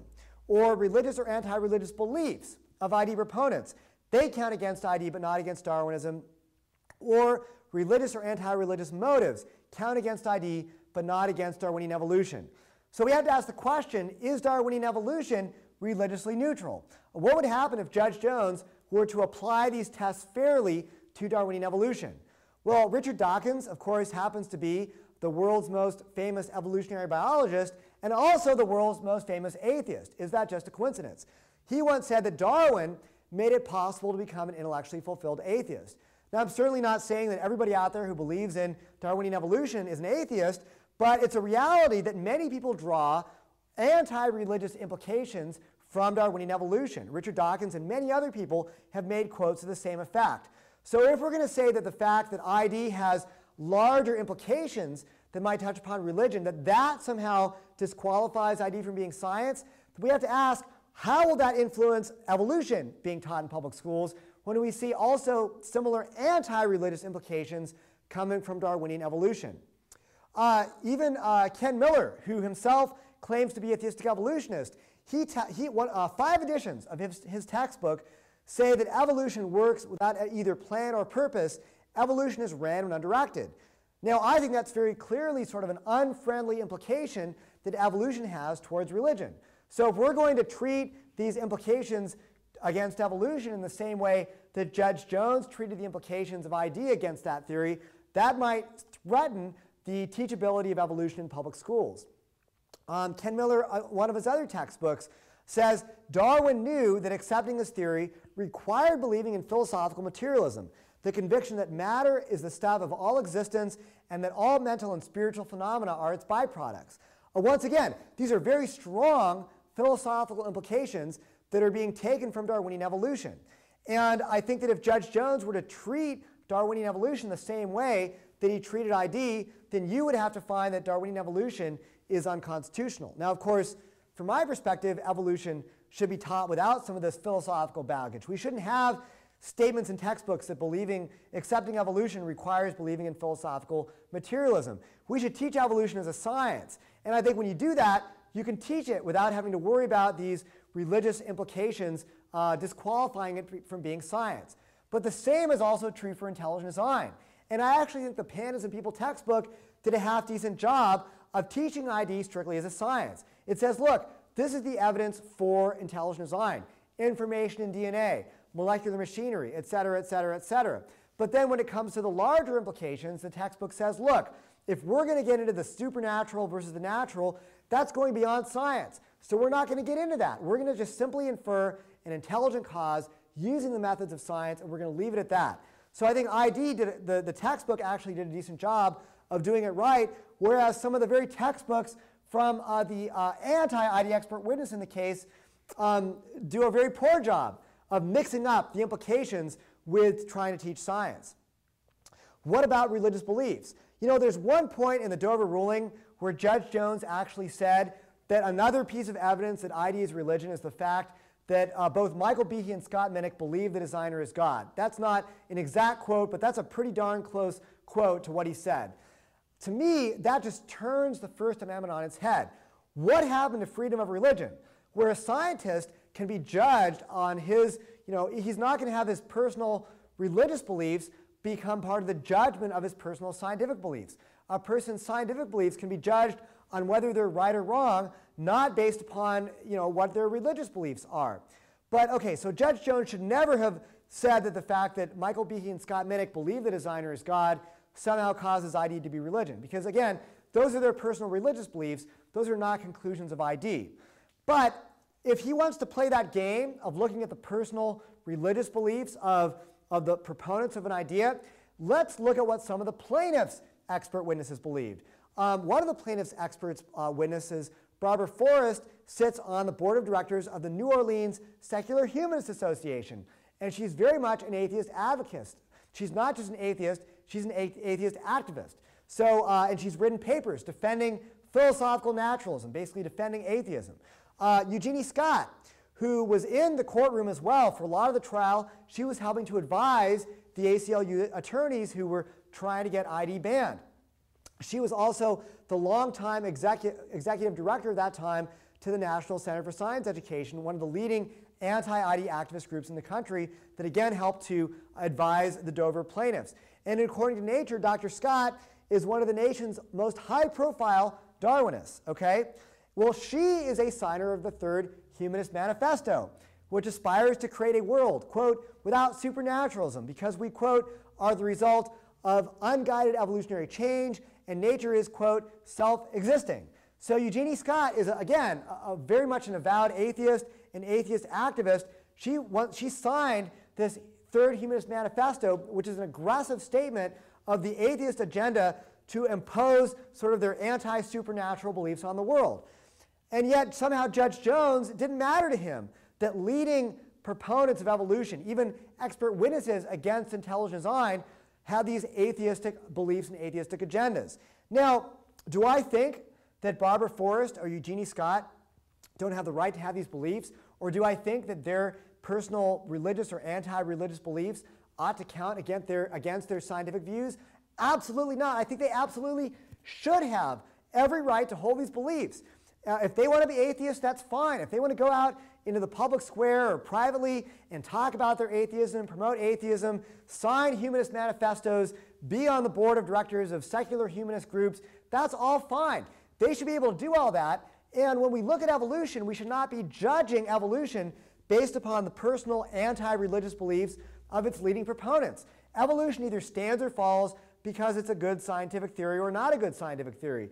Um, the fact that some proponents of a, of a theory might have certain religious or anti-religious beliefs is a separate question from whether that theory is science and whether it's a good scientific theory, okay? So uh, Judge Jones really went into an analysis that was irrelevant to understanding whether ID is science. But we have to ask the question, if Judge Jones wants to scrutinize the personal beliefs and motives of ID proponents, what would happen if that same logic was applied to Darwinian evolution? I think that if you were to apply that logic fairly, pretty quickly, you would have to see Darwinian evolution being struck down as unconstitutional in public schools. Now, I don't want that. Judge Jones doesn't want that. And certainly the Darwin lobby doesn't want that. So what we need to do is sort of throw out these contrived, fallacious legal tests that look at the personal religious beliefs and motives of the proponents of a theory or look at the larger implications of a theory that go beyond the science. We have to just look at the content of a theory and ask, is it a scientific theory and is it a good one if we want to find out you know, if it should be taught in public schools. Uh, Judge Jones unfortunately applied this double standard where he looked at the larger religious beliefs and motives and implications of intelligent design, but he ignored how that might uh, even strike down the theory of evolution if that same logic were to be applied fairly. Um, so let's talk a little bit about Judge, Jones, Judge Jones's judicial activism. Uh, this to me is one of the most uh, kind of amusing parts of the ruling. He made this bizarre statement in the Kitzmiller versus Dover case. I've never seen anything like this in any, any ruling. It's sort of a preemptive strike against people who would say that his ruling was activist. And he said, those who disagree with our holding will likely mark it as the product of an activist judge. If so, they will have erred, as this is manifestly not an activist quote, court. Uh, what a bizarre statement that he's trying to tell people, look, we're not an activist court. I'm not an activist court. Well, Judge Jones, methinks thou dost protest too much. Uh, this is one of the weirdest remarks I've ever seen in a ruling. And why are you so worried about people thinking you're an activist judge? Well, maybe it's because Judge Jones went way beyond the normal scope of the judiciary in his ruling, okay? So again, uh, let's look at some ways that Judge Jones did this. Review, let's review the Lemon test very briefly. Uh, the Lemon test that says that first of all, a statute must have a secular legislative purpose, and second, the principal or primary effect must be one that neither advances nor inhibits religion. So, according to Edwards versus Aguillard, if the law was enacted for the purpose of endorsing religion, then no consideration of the third, second or third criteria of Lemon is necessary. Okay? So essentially, if you find a religious purpose, you do not need to look at the effect of the law and ask whether or not its primary effect is to advance religion. So under this principle from Edwards, Judge Jones should have stopped his analysis and his ruling as soon as he found that the Dover School Board acted under religious motives. And as I said earlier, I think he had very clear evidence of religious motives from the Dover School Board. But Judge Jones didn't do that. Instead, he engaged in very sweeping questions in his effect analysis under the effect prong of the Lemon test, where he tried to rule on expansive social, scientific, and even religious questions that are unnecessary or irrelevant even to his case. Some of these questions include how do we define science? Is ID science? Could the type 3 secretory system form a precursor to the bacterial flagellum? Is the blood clotting cascade irreducibly complex? Can evolutionary processes produce new information? Or does evolution conflict with religion? Um, each of these questions were unnecessary for Judge Jones in, in this case. All he needed to do was to find clear evidence of religious motives from the Dover School Board, which he did, and that should have been the end of his case under the precedent of Edwards versus Aguillard. And by the way, I mean, Judge Jones cited Edwards versus Aguillard as an authority all over his ruling, except in this particular case, he ignored that precedent when it instructed him to stop his analysis after finding religious motives. Uh, so again, Judge Jones said, those who disagree with our holding will likely mark it as the product of an activist judge. If so, they will have erred, as this is manifestly not an activist course. And I would say we need to see actions, not words. I mean, you can say you're not activist all day long, but if your actions basically match the textbook definition of judicial activism, then that's activism, okay? Now, in a later interview, Judge Jones sort of said that, you know, people will say that I'm an activist just because they disagree with my ruling, okay? Well, this is not why we're saying he's an activist. We're saying he's an activist because his actions match textbook legal scholar definitions of judicial activism. So let's look at another example. In another situation, uh, Judge Jones actually said he hoped that, quote, his ruling could serve as a primer for school boards and other people who are considering this issue. So essentially, what Judge Jones is, uh, is doing here is he is trying to influence parties outside his case. He wants his ruling to not just influence the Dover School Board and the parents who sued them trying to get ID banned. He wants his ruling to influence other people elsewhere who are considering this same issue of teaching intelligent design. That is the definition of judicial activism, where you are trying to sort of serve as a broad policymaker around the whole country rather than simply you know, settling the issue before you in the case. So this, you know, that when we say that Judge Jones was a judicial activist, this is not just a, a meaningless epithet which, says, which implies we just disagree with what he said. No, this is a term that is well understood in scholarly legal circles, and it's applied to judges who succumb to the temptation to, quote, increase their impact as policymakers. Uh, this is a quote from a, uh, a legal scholar uh, book. And so when they do this, they're engaging in judicial activism. Judge Jones, by his own admission, wanted to be a policymaker. He wanted his, his ruling to influence other school boards and other people elsewhere around the country. Um, here's a, uh, uh, basically what legal scholars say is that judicial activism tends to displace other branches of government or other institutions in society that are better equipped to resolve a dispute. Okay, so what am I talking about? In the United States, obviously we have our three branches of government. We have the executive branch, the legislative branch, and the judicial branch. According to our American form of government, the legislative branch makes the laws, the executive branch executes the laws, and the judicial branch gets to interpret the law. They don't make the law. And so the legislative branch, in this case, they would be the branch, so to speak, that would be setting the law when it comes to a school board curriculum. So school boards essentially belong to the legislative branch in that when a school district adopts a curriculum, it is enacting a law or a policy that dictates what has to be taught in public schools. Now, a, a, a court has the right and actually the, the obligation and the authority to interpret that and to decide whether or not a school board curriculum violates the First Amendment. So if Judge Jones finds that Dover's ID policy violates the First Amendment, it establishes religion, he has every right and authority to do that. And there's nothing wrong with the fact that Judge Jones did that in this case. But what Judge Jones tried to do was he tried to go further and decide whether or not that is even a good curriculum. And that is a no-no for federal courts. They're not supposed to decide whether or not a curriculum is a good curriculum or whether or not maybe a particular scientific concept ought to be included in a, uh, in a curriculum. All they can do is decide whether or not a concept is religion as respects the First Amendment. All they can do is decide whether or not a concept in the curriculum establishes religion. And there's a very nice statement of this policy of judicial restraint that Judge Jones didn't follow in the Smith v. Uh, v. Board of School Commissioners of Mobile County case from the 11th Circuit. And here's what the court said in that case. It said, the wisdom of an educational policy or its efficiency from an educational point of view is not germane to the constitutional issue of whether that policy violates the Establishment Clause. This is very good law right here. This is very good legal reasoning. But Judge Jones didn't just decide whether or not the Dover School Board violates the Establishment Clause. He went into a lengthy analysis of whether ID is good science, whether it's been refuted by Darwinian evolution, whether or not it you know, is, is an accurate description of the world around us. Uh, that was not, that is not what a federal court is supposed to be doing. It was not Judge Jones's place to decide whether or not ID or Darwinian evolution is correct. It was his job to decide whether or not the Dover School Board policy violates the Establishment Clause. And the question of whether or not ID is a good idea, you know, as a scientific concept, whether or not it's a good idea to include it in the curriculum or whether or not uh, it's better or worse than Darwinian evolution when it comes to the evidence, none of that is, is uh, germane to the constitutional issue of whether Dover's ID policy violates the Establishment Clause. But Judge Jones did not get this distinction. And that's why he went into a lengthy analysis of whether or not ID is good science, not just whether it's science, but whether it's, it's good science, whether it's true or not. Um, here's another, and we'll talk, by the way, in just a minute about some of the scientific flaws in Judge Jones's ruling.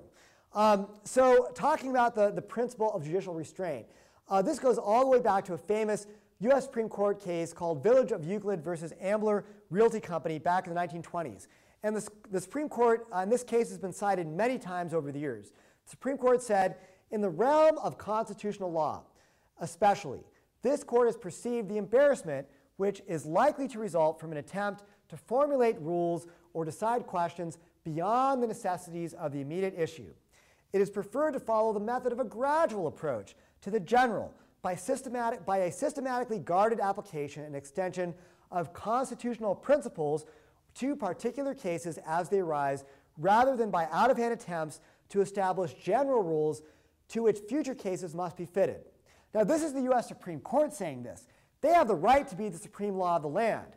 Judge Jones was from the lowest level of the federal courts. If there's ever a time where a court is supposed to use judicial restraint and only try to settle the immediate necessities of the issues before them in a case, it's when you're a federal trial court judge.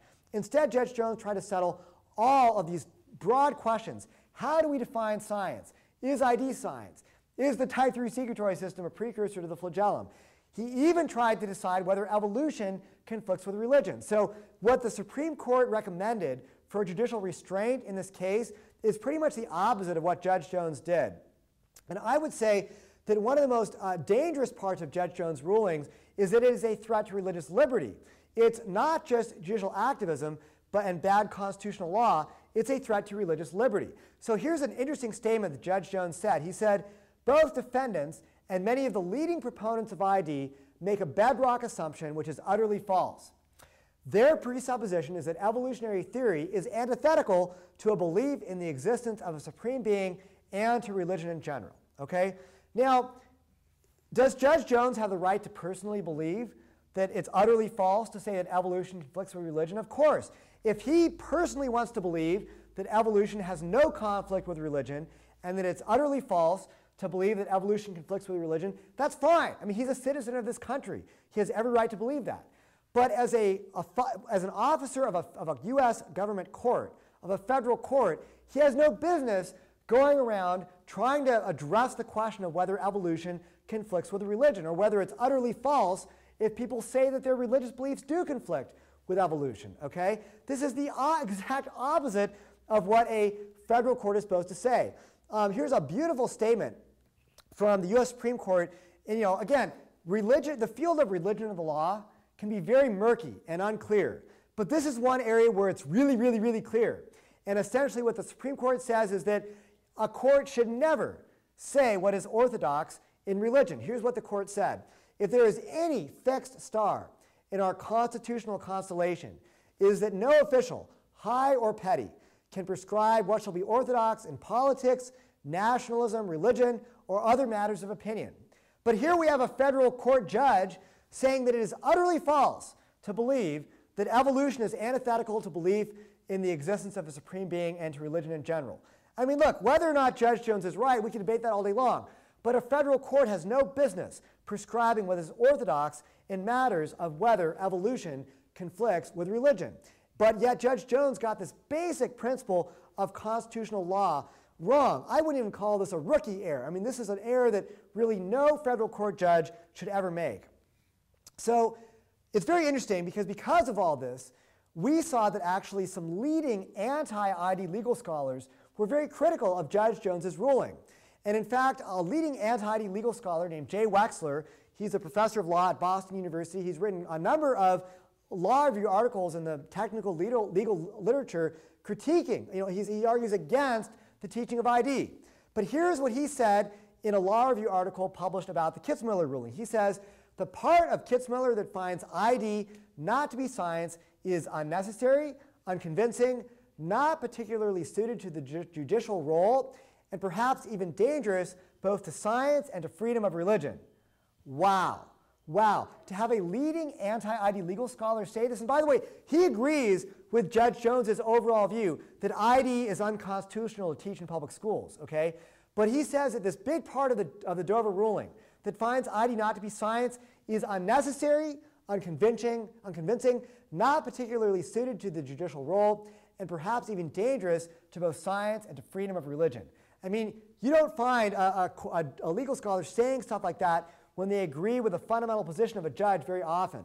And so when a lot of folks will say, well, Judge Jones, he was appointed by George W. Bush, as if somehow that's supposed to mean that I guess he, he has to agree with every ideological view of the president that appointed him.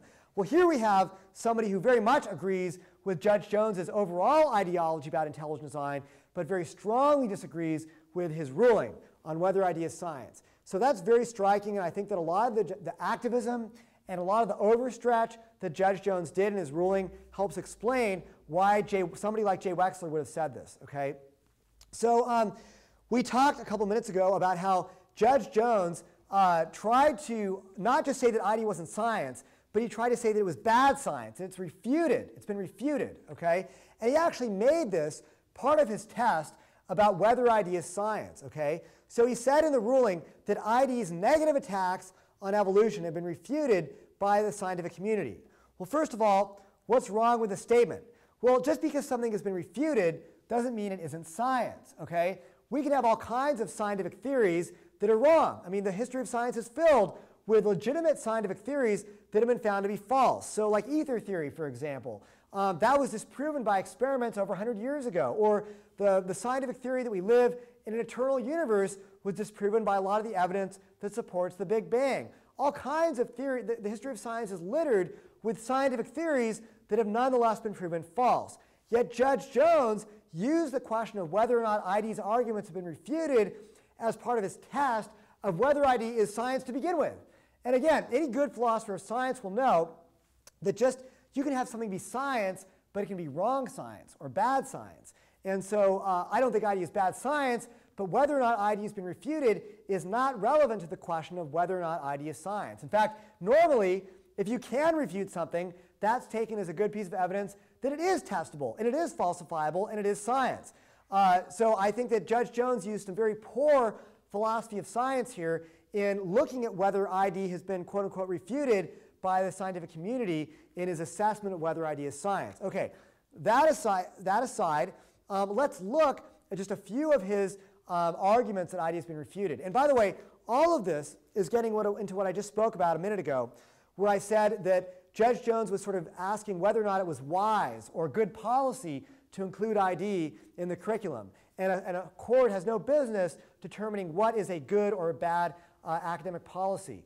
Um, Judge Jones really had no business assessing that question when all he was really supposed to be doing was asking whether or not um, Dover's policy violates the First Amendment. Okay, so here's what Judge Jones ruled. He said the argument of irreducible complexity, central to ID, emplo employs the same kind of illogical and contrived dualism that doomed creation science in the 1980s. Irreducible complexity is a negative argument against evolution, not proof of intelligent design. Irreducible complexity fails to make a positive case, scientific case for ID. Is that really true? And what did the Dover um, testimony say? Does irreducible complexity commit the old God of the gaps fallacy where it says, because something is wrong, therefore ID is right? Well, here's a statement that was documented to Judge Jones in the Dover case. Um, this is from a paper that Stephen Meyer and Scott Minnich wrote. It says, in all irreducibly complex systems in which the cause of the system is known by experience or observation, intelligent design or engineering played a role in the origin of the system. And it goes on to say, although some may argue this is merely an argument from ignorance, we regard it as an inference to the best explanation, given what we know about the powers of intelligence as opposed to strictly natural or material causes. So clearly, ir irreducible complexity can be a positive argument for design. Because in our experience, all irreducibly complex features derive from intelligent agents.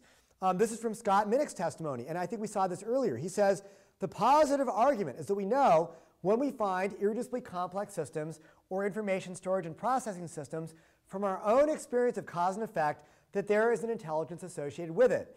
There's a uniformitarian deduction from cause and effect that we know from our everyday experience. So according to Scott Minnich's testimony, irreducible complexity makes a positive argument for design. It's not just a negative. It can be seen as a negative argument against Darwinian evolution, sure, but it can also be a positive argument for design. So that's an error that Judge Jones made. Um, and uh, so irreducible complexity is based upon what we do know, not what we don't know. And we'll discuss uh, some of Scott Minnich's experiments testing irreducible complexity in more detail in just a moment here.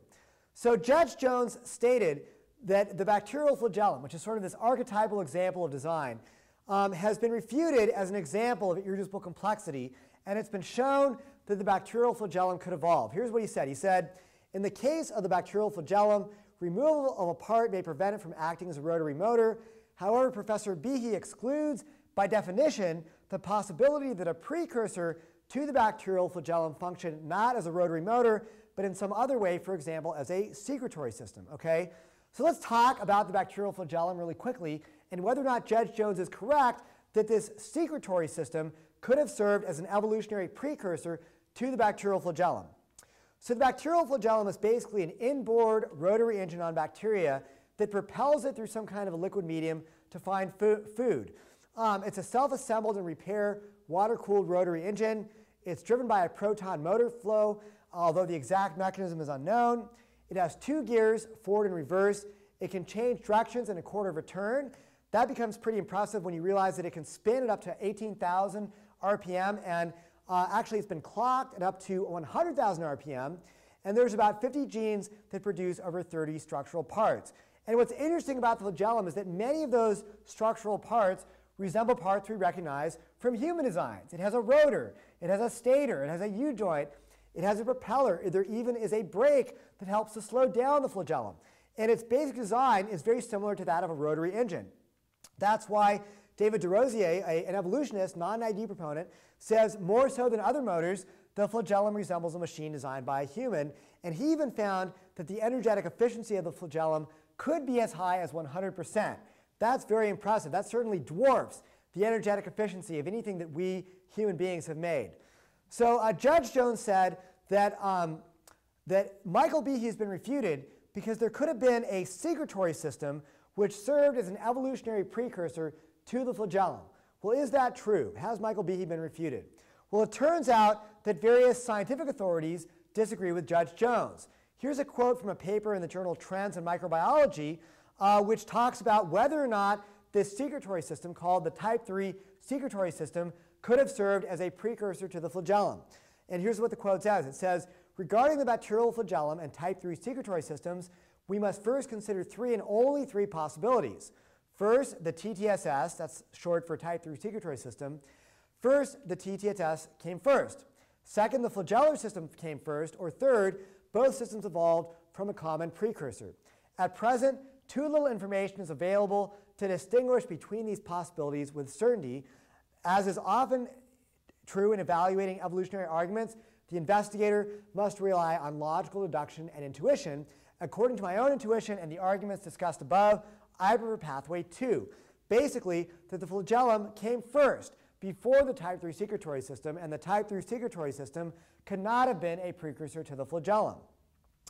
Here's a quote from an article in the journal News, in the uh, magazine New Scientist. It says, one fact in favor of the flagellum first view is that bacteria would have needed propulsion before they needed type 3 secretory systems, which are used to attack cells later than bacteria. What's he talking about? Well, basically, type 3 secretory systems are used by predatory bacteria that go up to large eukaryotic cells and inject those cells with toxins using the type 3 secretory system to then kill those cells, okay?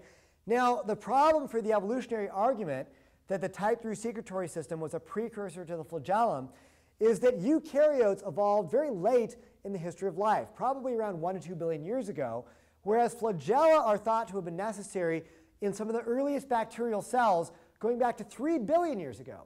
So it's, according to the standard evolutionary wisdom, uh, bacterial flagella would have evolved long before eukaryotes evolved, but the type 3 secretory system in its other use is used only to in, invade and kill eukaryotic cells. So it doesn't make sense to say that the type 3 secretory system predates the flagellum. But there's another much more stronger argument for why the flagellum probably came first before the type 3 secretory system. And this quote goes on to say, um, flagella are found in a more diverse range of bacterial species than the type 3 secretory system. And as a quote from the scientist Howard Ochman at the University of Arizona, the most parsimonious explanation is that the type 3 secretory system arose later. So this next quote explains this. Uh, this is from a, an Evolution 2012 paper. It says, based on patchy taxonomic distribution of the type 3 secretory system compared to that of the flagellum, widespread in bacterial phyla, previous phylogenetic analyses proposed that the type 3 secretory system derived from flagellar ancestor and spread later through lateral gene transfer. Okay? So what am I talking about here? Essentially, when you look at the way that bacterial flagella are distributed among bacteria today, they're distributed very, very widely. And in this tree diagram you see right now, you can see that the green, actually in this diagram, every single clade in this tree has flagella, including both the green and the purple. So bacterial flagella are distributed very widely among bacterial phyla. This is just a representative schematic of what I'm talking about. But type 3 secretory systems are only found in the purple groups, okay? So type 3 secretory systems are found in a very narrow restricted range of bacteria today, whereas flagella are found very widespread among bacteria. What this suggests is that bacteria are very ancient in the history, I'm sorry, what this suggests is that flagella are very ancient in the history of bacteria because they go back perhaps even as far back as one of the, the most ancient common ancestors of all bacteria. And because type 3 secretory systems are found in only a very narrow range of bacteria, that suggests that it's a very late innovation in the history of life, and it certainly does not predate the flagella. If it did, you, expect, you would expect it to be more widely distributed than flagella. Instead, you find the opposite that flagella are much more widely distributed than the type 3 secretory system and the injectosome that it's a part of. So this is very important. Normal evolutionary analysis would look at this and say, oh my goodness, of course, the type 3 secretory system must have evolved after the flagellum. That would be a normal evolutionary analysis of this kind of data. But the fact that they don't do that shows that they're looking for some kind of evolutionary precursor to the flagellum even though the type 3 secretory system is not supported by the data as being that. Okay, so what I'm saying here is that there is some very strong evidence that the type 3, the secretory system, which Judge Jones claims could have been a precursor to the flagellum, could not have been a precursor. Now, of course, you can get Ken Miller in the courtroom and have him testify that it could have been a precursor. And then you can get Michael Behe and Scott Minnich in there, and they can testify that, you know what, there are good reasons why the type 3 secretory system was not a precursor to the flagellum. What Judge Jones has here is not evidence that ID's arguments have been refuted. He has evidence of a scientific debate, a debate that he ought to be staying out of because, because courts have no business trying to settle these kinds of scientific debates. Let's let the scientists settle these debates, and if a school board wants to take a side, that's their prerogative as a member of the legislative branch of our government. But a federal court can only decide constitutional issues in cases like this. It has no business trying to settle the scientific debate, and it's not even relevant to whether or not ID is science or religion. Um, Judge Jones also claimed that Michael Behe ignores exaptation or indirect, indirect routes of evolution. But uh, he doesn't do that. If you read Michael Behe's book, Darwin's Black Box, he certainly allows for indirect routes. He just says that the more indirect the evolutionary story becomes, the less likely it is to happen. But he says on pages uh, uh, 65 to 66, because the cilium is irreducibly complex, no direct gradual route leads to its production. So an evolutionary story for the cilium must envision a circuitous route, perhaps adapting parts that were originally used for other purposes. So when Judge Jones claims that Michael Behe ignores exaptation or indirect routes of evolution, Behe does not ignore it. He's saying right here, he's talking about exaptation, indirect routes of evolution that use parts that were originally used for other purposes. Uh, bottom line is that Judge Jones just got this wrong, and he misstated Behe's uh, definition of irreducible complexity. But I think one of the, the biggest problems with Judge Jones's discussion of irreducible complexity is that he misdefined how we test irreducible complexity. And he did that because he adopted basically a test for irreducible complexity that was given by Ken Miller, a pro, I'm sorry, an anti-ID biologist that testified against ID in the case. Ken Miller said during his testimony that this is how we test irreducible complexity. He said, Dr. Dr. Behe's prediction is that the parts of any irreducibly complex system should have no useful function. Therefore, we ought to be able to take the bacterial flagellum, for example, break its parts down, and discover that none of the parts are good for anything except when we're all assembled in a flagellum. Now, that is not how we test for irreducible complexity. And let me explain to you why that's the case. Let's consider an arch. An arch is often said to be an example of an irreducibly complex structure. It requires all of its components in order for it to stand up and function. So in, right now in this arch, all the parts are functioning. Let's say we break this arch down into all these different parts, including S and T. Okay? Now let's say that we remove part T. Well, the arch falls down, right? But part S actually can stand on its own. So what I'm saying here, what you're seeing here is that just because one part of an irreducibly complex structure might be able to have some other function does not mean that you can assemble the overall irreducibly complex system in a step-by-step-by-step manner. So the only way to properly test irreducibly complex uh, systems is to take one part of the system out at a time and see if the whole system can function, not to see if one part can have a function on its own. Uh, for example, I mean, I could take my laptop's power cord and use it to power a toaster, okay? That doesn't mean that my toaster could evolve into my laptop in a step-by-step-by-step fashion. It's an improper way to test irreducibly complex systems. So um, this applies to the bacterial flagellum. Uh, Scott Minnich testified about how when you look at the type 3 secretory system, yes, it does share some of the components of the flagellum, but it's very different from the flagellum. He was asked, would it be fair to say that if the type 3 secretory system was found to have preceded the bacterial flagellum, we'd still have difficulty with trying to determine how one system that functions as a secretory system could then become a separate system that functions as a motor, a flagellar motor. And Minnich says in response, right, having a nano syringe and developing that into a rotary engine, you know, is a big leap. So the problem is that just because one part of the flagellum is similar to this type 3 secretory system does not mean that you can evolve that secretory system into the full-blown flagellar motor function in a step-by-step-by-step manner.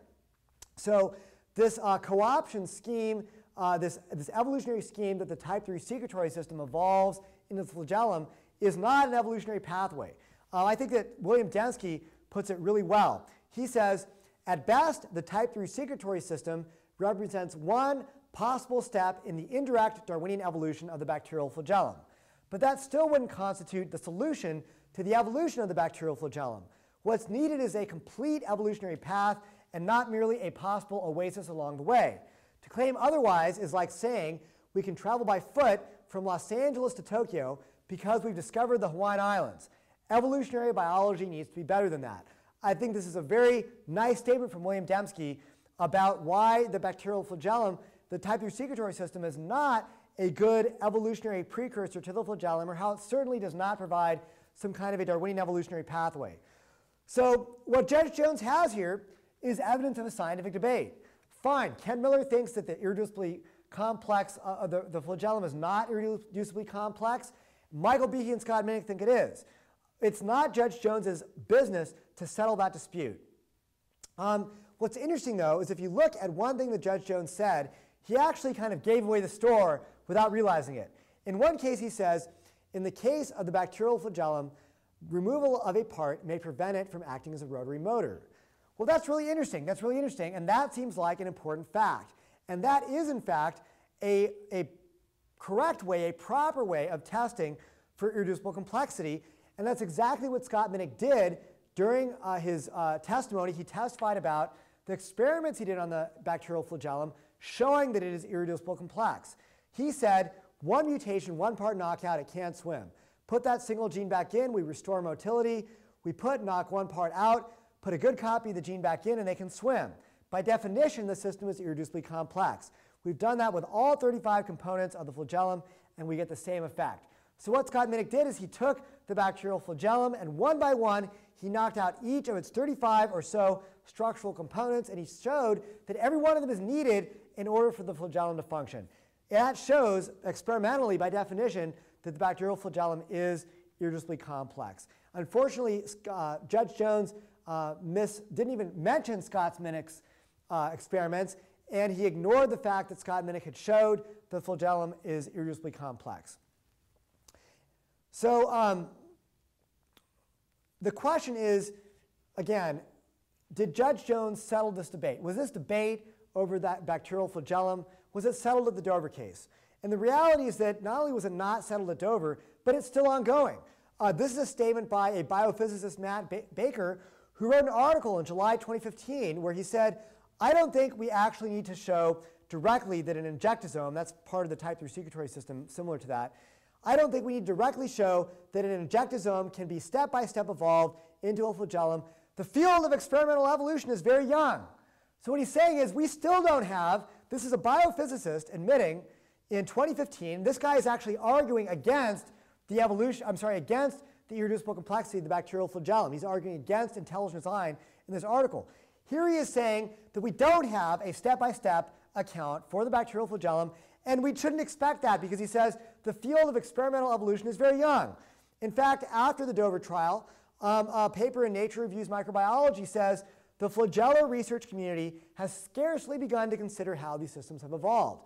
So yes, there is an ongoing debate about whether or not the flagellum could evolve. Um, I think that there are good arguments that uh, the flagellum could not have evolved in a step-by-step -step manner, and many pro-ID scientists would agree with me. And there are, of course, evolutionary scientists who disagree. That's fine. This is evidence of a scientific debate. It's not one that shows that ID is not science or that it's unconstitutional, and it's certainly not one that the judiciary should be getting itself into as Judge Jones tried to in the Dover case. So again, what we see here is evidence of a scientific debate, not a refutation of intelligent design. So much more could be written about Judge Jones' scientific errors. We're going to have to leave it at this for now, and we're going to talk about what I think is Judge Jones' most dangerous error in his case. Okay, It's where he said that ID is not science because it has failed to gain acceptance in the scientific community. Why is this dangerous? what it says is that something is only science if it has gained acceptance in the scientific community. Well, if this is true, how can science ever progress? Every new scientific theory that ends up, you know, maybe taking over and winning everyone over, every new scientific theory starts off as a minority scientific view that virtually nobody accepts. Now, over time, that scientific theory might become accepted in the scientific community. But if Judge Jones is right here, that something cannot be science if it has failed to gain acceptance, then no scientific revolution could ever take place, and science can never progress. So Judge Jones's ruling here, it's very bad philosophy of science. It also threatens the ability of new scientific theories to be able to be considered by scientists. Now, thankfully, and Judge Jones probably didn't realize this when he ruled this, the Supreme Court already ruled on whether or not general acceptance is a good test of whether or not something A is science or B is good science.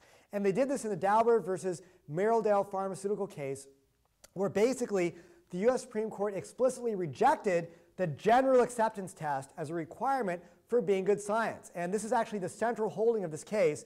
The court said nothing in the text of this rule establishes general acceptance as an absolute prerequisite to admissibility. They're talking about whether or not the federal rules of evidence for scientific evidence in a court case uh, should require general acceptance of an idea before a scientific claim can be accepted or brought in as evidence in a court case. And the court said, no, you don't have to have general acceptance before you have uh, this scientific concept admitted as evidence in a case.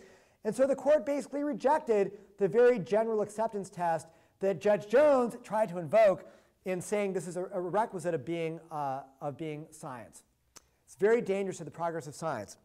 Um, thankfully, other scientists also disagree with Judge Jones. Here's a statement from an amicus brief in the Daubert case uh, that was co-signed by Stephen Jay Gould and a variety of other scientists. They said, judgments based on scientific evidence, whether made in a laboratory or a courtroom, are undermined by a categorical refusal to even consider researcher views that contradict someone's notion of the prevailing consensus of scientific opinion. Automatically rejecting dissenting views that challenge the conventional wisdom is a dangerous fallacy, for almost every generally accepted view was once deem, deemed eccentric or heretical. Perpetuating the reign of a supposed scientific orthodoxy in this way, whether in a research laboratory or in a courtroom, is profoundly inimical to the search for truth. The quality of a scientific approach or opinion depends on the strength of its factual premises and on the depth of its consistency or its reasoning, not on its appearance in a particular journal or on its popularity among scientists. I mean, this statement alone refutes about three of the criteria, three or four of the criteria that Judge Jones has used for deciding whether or not ID is science. And I think it it's a beautiful, eloquent statement of why it's very dangerous to say, look, just because something isn't uh, well accepted or widely accepted in the scientific community, or just because it's a new idea that hasn't been published yet in certain journals, it's very dangerous to reject an idea simply for that reason. And I think that really this, this statement here uh, shows why Judge Jones used very dangerous and poor philosophy of science uh, by adopting the general acceptance test, because it, it threatens the advancement of science. So why was Judge Jones's ruling so inaccurate? Um, why did he get so many things wrong? Why did he get so many claims inaccurate in the ruling? Well, it turns out that uh, we did analysis after Judge Jones submitted his ruling, and we found that over 90%, exa- uh, approximately 90.9% of Judge Jones's celebrated section on whether intelligent design is science was taken virtually verbatim from the ACLU's proposed finding of facts and conclusions of law, which is, was submitted to Judge Jones nearly a month before his ruling. Okay? So this helps to explain why Judge Jones got so much wrong. He basically copied huge portions of his section, his celebrated section, on whether ID is science from an ACLU brief. Now, before we get into this, I want to make it clear I'm not accusing Judge Jones of plagiarism. I'm not saying that Judge Jones did something unethical by copying uh, huge portions of a brief from uh, the ACLU. Uh, judges are allowed to do this. Now, this is frowned upon by federal courts. Uh, one of the reasons why it's frowned upon is because when a court simply copies from one party's briefs, it tends to make it look like they were not sort of careful, neutral arbiters of the facts. They didn't carefully scrutinize the arguments from both sides and come to some, you know, split the baby kind of decision in the middle. Uh, attorneys, it's their job to sort of push the envelope with arguments, right? It's supposed to be the court's job to sift through those zealous advocacy of the attorneys on both sides and come up with some sort of you know, you know, solution or decision that's somewhere in the middle. But when Judge Jones rendered his decision, he basically just signed his name to the ACLU brief uh, in the section of whether ID is science. So this, uh, not only does this tend to diminish the public's trust in the judiciary because it makes it look like they're not being totally neutral, uh, but it all, and they're not being careful, you know, scrutinizers of the truth. It also tends to incorporate errors into the ruling. And so even uh, higher courts have criticized the judicial practice of copying a brief from one party or the other because it tends to incorporate the overzealous advocacy of one party or another into the ruling. And I think that these criticisms really apply here to what Judge Jones did. So let's look at some examples of where Judge Jones simply copied from the ACLU brief and uh, incorporated errors into his ruling. So here's a good example. Um, there was this incident that took place when Michael Behe was being cross-examined during the Dover case. And basically, one of the Dover's attorneys, uh, oh, sorry, not the Dover attorneys, one of the plaintiff's attorneys took this big stack of books and articles and dumped them on the witness stand.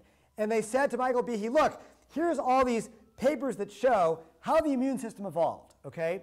And what Michael Behe did was he said, look, um, these papers, I'm sure they're very good papers, but they don't address the question that I'm asking. I'm saying that the immune system in invertebrates is irreducibly complex, and it can evol not evolve in a step-by-step -step, uh, manner. What he said is that these papers, all they tend to do is they tend to compare sequence similarity between these flagellar, I'm sorry, between these immune system proteins and other proteins, and this might show common ancestry, but it does not demonstrate a step-by-step-by-step Darwinian pathway. So what he said is basically, these papers are perfectly good papers, but they're addressed to a separate question. They're not addressing my question of how the immune system evolved. So Judge Jones, after this incident, this is what he ruled. He said, he, Behe, was presented with 58 peer-reviewed publications, nine books, and several immunology textbook chapters about the evolution of the immune system, However, he simply insisted that this was still not sufficient evidence of evolution and that it was not, quote, good enough. So that's what Judge Jones ruled. Well, where did he get that from? Well, here's what the plaintiff's brief said. It said, he, Behe, was confronted with 58 peer-reviewed publications, nine books, and several immunology textbook chapters about the evolution of the immune systems, and he insisted that this was still not sufficient evidence of evolution. It was, quote, not good enough. Okay, so basically it's verbatim, okay? Almost no change whatsoever in this quote. So what did Behe actually say? Did Behe actually look at these papers and say that they were not good enough? No, that's not what Behe said. In fact, here's Behe's actual testimony. He said, these articles are excellent articles, I assume. However, they do not address the question that I am posing. So it's not that they aren't good enough, it's that they simply are addressed to a different subject. So rather than Behe saying that the papers were not good enough, he actually said that it's not that they aren't good enough.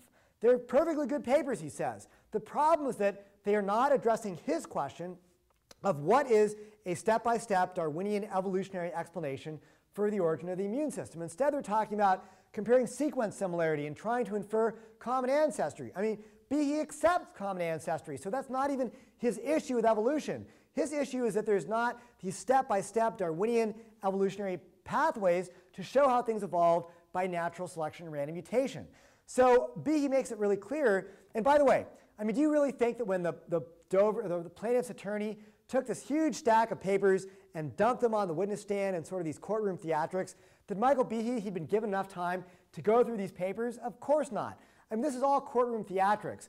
And it actually turns out that if you look at many of these papers, Behe was exactly right. They don't provide a, a stepwise explanation of the immune system. They simply compare sequence homology between um, genes involved in the immune system, in the, in the vertebrate adaptive immune system, and genes involved in other systems. They just find sequence homology. They don't provide a step-by-step -step account for how the immune system arose.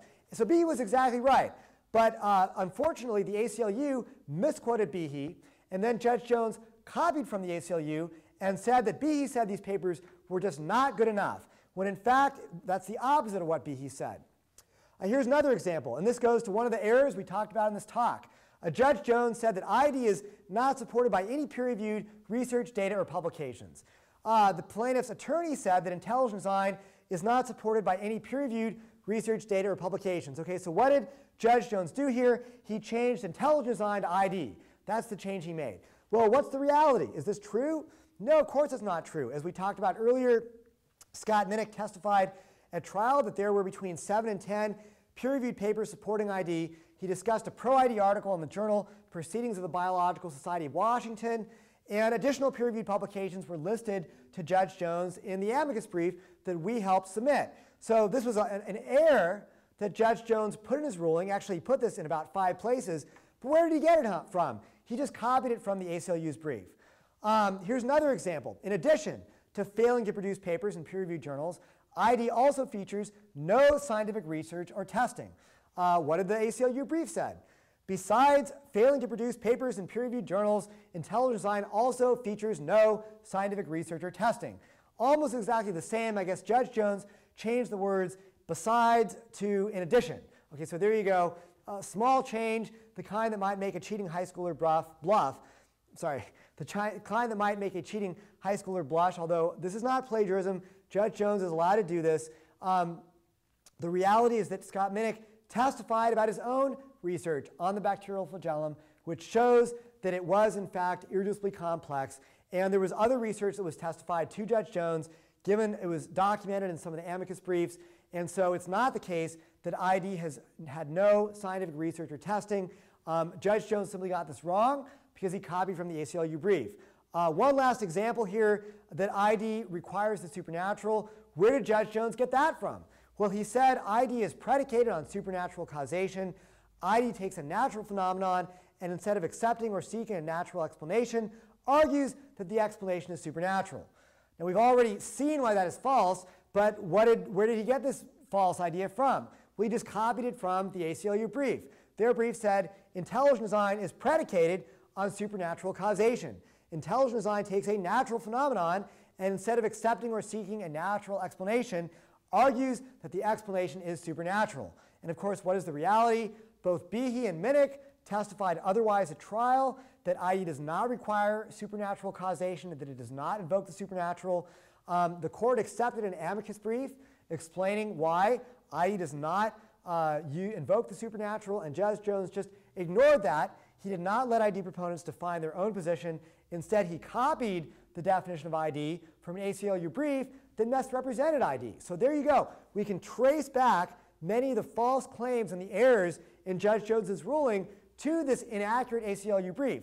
Now, we would expect as much from the ACLU. I mean, after all, it's their job. They're trying to get ID banned from public schools. They want to censor intelligent design. They're going to use any argument they can, whether good or bad, and used a lot of bad ones to try to get ID censored. Judge Jones's job was to, was to sort of filter through those bad arguments and come to an accurate decision. And instead, I don't really think that he did that, despite the fact that he was called, I think Time magazine called him one of the thinkers of the year in 2006. He really simply copied his celebrated section on whether idea science from the ACLU's brief. And I don't think it represents the sort of, sort of careful, cautious, objective analysis that we want to see from courts. Instead, it shows basically you know, signing your name to one party's brief. So really many of the reasons why higher courts have criticized this practice of judicial copying apply directly to Judge Jones. It tends to incorporate errors into the ruling, and it tends to diminish the public's faith in the judiciary. And I think, unfortunately, that's exactly what is happening here. So, okay, we're almost done. Let's just give a summary of some of the major problems with the Kitzmiller versus Dover ruling um, and some, some highlights of the Kitzmiller versus uh, Dover ruling. First of all, the case was not appealed, and the ruling was issued from the lowest level of the federal courts. So, for that reason, the case is not binding outside of the Middle District of Pennsylvania, and ID has not been banned nationwide. I would say, however, that the judicial overreach diminishes the credibility of the ruling.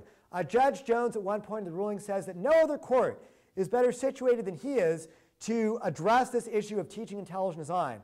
And I think that actually future courts will have the, not just the right, but the obligation to reconsider this issue because of all the inaccurate statements in the Dover ruling and because of the overreach, the judicial activism that Judge Jones engaged in. In fact, the extensive copying from the plaintiff's findings of fact and conclusions of law diminishes the credibility of whether the uh, of, on the section of whether ID is science. Um, so other problems, the ruling attacked a false definition of ID, wrongly holding that ID requires supernatural creation, a position that was refuted during the trial by ID proponents who testified and gave other evidence to the judge that ID does not require the supernatural. Uh, the ruling also ignored the positive case for design and falsely claimed that ID proponents make their case solely by arguing against evolution. Uh, Judge Jones misrepresented the and People textbook as if it supported creationism when in fact its thesis was fundamentally distinct from creationism and did not fit in with how creationism has been declared a religion by the US Supreme Court. Uh, Judge Jones used this six-part test for analyzing whether ID is science, yet on each of those six parts, his analysis was either, was either wrong or irrelevant. Um, criterion one, ID in the supernatural. Uh, Judge Jones' analysis was wrong because ID does not invoke the supernatural, and, it was, uh, and, it's, and whether ID permits the supernatural is irrelevant to determining whether ID is science. On criterion two, uh, the negative arguments against evolution. Here, Judge Jones's analysis is wrong because ID, including its arguments from irreducible complexity, offer a strong positive argument for design. Judge Jones ignored this. His analysis here is also irrelevant because determining whether ID is science uh, is, is, it doesn't matter whether scientists are using negative arguments in determining whether something is science. Scientists will use negative arguments all the time. Criterion three, um, ID and scientific disproof, uh, you know, has ID been refuted by the scientific community? Here, Judge Jones's analysis is wrong. He was presented evidence of a scientific debate, not one side refuting the other. And in fact, many of Judge Jones's arguments for why ID has been refuted turn out to themselves be wrong. Moreover, his analysis here is irrelevant, because even if he were correct that ID had been refuted, that doesn't mean that ID is therefore not scientific or that it's therefore religion. The, the history of science is littered with ideas that have been refuted, but yet are still properly considered scientific. Uh, criterion four, ID and acceptance in the scientific community. Here, Judge Jones's analysis is wrong because there are credible scientists who support ID, but his analysis is also irrelevant because even the US Supreme Court has express, expressly rejected the view that the degree of support for an idea determines whether it is scientific. Uh, criterion five, ID and peer review. Here, Judge Jones' analysis is wrong because ID has generated peer-reviewed publications. It's also irrelevant to determining whether ID is science because as we saw, the US Supreme Court has said that you can have something be good science even if it has not been published in peer-reviewed journals. Um, and then finally, criterion six, ID and research.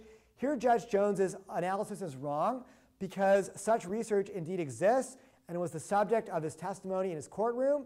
It's also irrelevant to determining whether ID is science. An idea could be scientific and yet not have yet been tested. Okay, other problems. Um, he blatantly ignored and denied the existence of pro-ID peer-reviewed scientific publications that were documented to him and were even the subject of testimony in his own courtroom. He blatantly ignored and denied the existence of pro-ID scientific research and data that was likewise the subject of testimony in his own courtroom. He blundered in his application of philosophy of science, presuming that being wrong precludes being scientific, and by applying a false dichotomy where he argued that if something isn't science, then it must be religion. He dangerously stifles scientific advance by taking the level of support for a theory as a measure of whether, whether it is scientific or not. He made many, or at least many easily challenged scientific claims that were inaccurate uh, about the evolution of the bacterial flagellum, the blood clotting cascade, the origin of new genetic information, and the immune system. And he overstepped the bounds of the judiciary and engaged in judicial activism. He found that ID been refuted when in fact he'd been presented with credible scientific witnesses and publications on both sides showing evidence of a scientific debate. He also adopted an unfair double standard of legal analysis where religious implications, beliefs, and motives and affiliations count against ID but never against Darwinism. And he violated a fundamental cardinal rule of constitutional law by declaring a religious view to be false from the bench of a US court, namely the view that religion conflicts with evolution, or that evolution conflicts with religion, I should say. So, dare I say it, I would say that the Dover ruling is actually a case study and while we don't want judges trying to settle controversial scientific and social questions. Judge Jones got many things wrong, and it was a textbook case in many cases of judicial activism.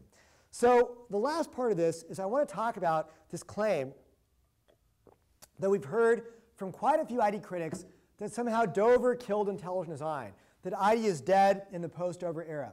Well, that was 10 years ago in December of 2005 that ID was ruled against in the Kitzmiller versus Dover case. And in the last 10 years, the reality is that ID has thrived in the post-Dover era. We have seen dozens of pro-ID peer-reviewed scientific papers being published. We have seen experimental research coming out in peer-reviewed papers showing the unevolvability of new proteins and that proteins contain high levels of complex and specified information. We have seen theoretical peer-reviewed papers taking down alleged computer simulations of evolution, including one I didn't talk about called Avida that was testified about by Robert Pennock during the Dover trial. And these theoretical papers have showed that intelligent design is needed to produce new information. We've seen a major ID research conference at, the, at Cornell leading to the publication of the volume Biological Information New Perspectives, where dozens of ID researchers contributed their research into a peer-reviewed scientific book. We've seen huge victories for ID in terms of ID predictions about junk DNA. It's been in the post-Dover world that the ENCODE results have come out showing that the vast majority of our DNA is in fact functional, validating a prediction that ID has made. So we've seen data supporting of ID coming out all the time, especially as the epigenetic revolution has proceeded. We now know that epigenetics has revealed new layers of information and biological control throughout the cell. And this is exactly what ID has predicted. So it's a very exciting time to be an ID proponent, seeing so many new types of information and new layers of cellular regulation and control being discovered, because this is exactly what ID proponents have said we would find in the cell, as well as, of course, function for all this non-coding DNA, that that information is useful and important as well. Um, I would say ID pretty much shut down the competition in debates relating to Stephen Meyer's books, like Darwin's Doubt and Signature in the Cell. Signature in the Cell was named one of the books of the year by the London uh, Times uh, Literary Supplement, and Darwin's Doubt was appraised by one of the top scientific journals, the journal Science, in a tellingly weak review. And when Stephen Meyer debated the author of that review in uh, a radio debate, uh, that author uh, who criticized Stephen Meyer's book in the journal Science essentially what came out is that he didn't have any explanation for the evolutionary origin of new information. Um, interestingly, uh, Judge Jones didn't mention this in his ruling, but one of Ken Miller's number one arguments against ID during the Dover trial was the beta globin pseudogene and his claim that it is a non-functional piece of junk DNA that is broken and shared in both humans and apes, and this is evidence of our common ancestry with apes. Well, that argument was shot down in 2013 as a paper reported function for the beta globin pseudogene. Um, in another case, one of the um, sort of evolution lobby's favorite arguments against Michael Behe was refuted as chloroquine resistance has turned out to be a multi-mutation feature that requires multiple mutations to be present before you get any advantage. So these are both vindications of ID arguments here. Um, we've seen major concessions from leading atheists like Thomas Nagel that ID arguments have merit and should be taken seriously, and concessions from influential evolutionists the neo-Darwinism indeed faces serious criticisms in biology. A leading theistic evolutionist who is not an ID proponent named Darrel Falk um, admitted when he was responding to Stephen Meyer's book Darwin's Doubt that in fact neo-Darwinism does face major criticisms from the scientific community. So we're seeing major concessions, from leading evolutionary scientists. And I would say revealingly, the more that we see ID victories, the more the Darwin lobby has tried to suppress free speech for ID proponents and in turn is forced to squelch their own criticisms of the orthodox evolutionary paradigm. Uh, I mentioned earlier that, that uh, book, Biological Information New Perspectives, that was the conference proceedings from this ID research conference at Cornell in 2012. The Darwin lobby actually successfully prevented that book from being published by one of the world's top science publishers, Springer Verlag. Now, they did this because they were trying to say, you know, Springer should not publish an ID book. So the Darwin lobby is very scared of ID arguments getting out there. Thankfully, another scientific publisher, World Scientific, had the courage to take up that book and publish it. But as I said at the very beginning of this talk, we have seen an intense spike in the amount of persecution of ID proponents in the post-Dover era. Many of the, some of the stories of scientists who have been discriminated against um, were told in the 2008 documentary Expelled, no Intelligence Allowed, uh, which is a documentary featuring comedian Ben Stein recounting various high-profile cases against pro-ID scientists like Caroline Crocker at George Mason University or Guillermo Gonzalez at the University or Idaho, I, sorry, Iowa State University or uh, Bob Marks at Baylor University or the Richard, uh, Richard Sternberg at the Smithsonian. Um, these cases were retold and expelled, and it shows how the Darwin lobby is doing what it can do to prevent ID arguments from getting out there. And guess what? The Kitzmiller versus Dover case is part of that agenda. What were they trying to do in the Dover case? They were trying to get intelligent design banned from schools in the Dover School District. And they successfully did that, unfortunately. So what the Darwin lobby wants to do is they want to censor and ban this idea of intelligent design both from public schools and from academia. Public schools, they use court cases like the Dover case, and academia, they persecute ID-friendly scientists to try to get them expelled from the universities. Uh, and that documentary, Expelled, by the way, was watched by over 100, I'm sorry, by over 1.1 million viewers. And it's great to see that ID's message is getting out into the culture as a whole in the post-Dover era, despite the efforts of the Darwin lobby to squelch ID arguments. We've also seen some major public policy victories in the post-Dover era. Um, people said that, you know, Dover would kill the ID movement. Well, the ID movement was not asking for ID to be pushed into public schools before Dover, and it has not asked that after Dover either.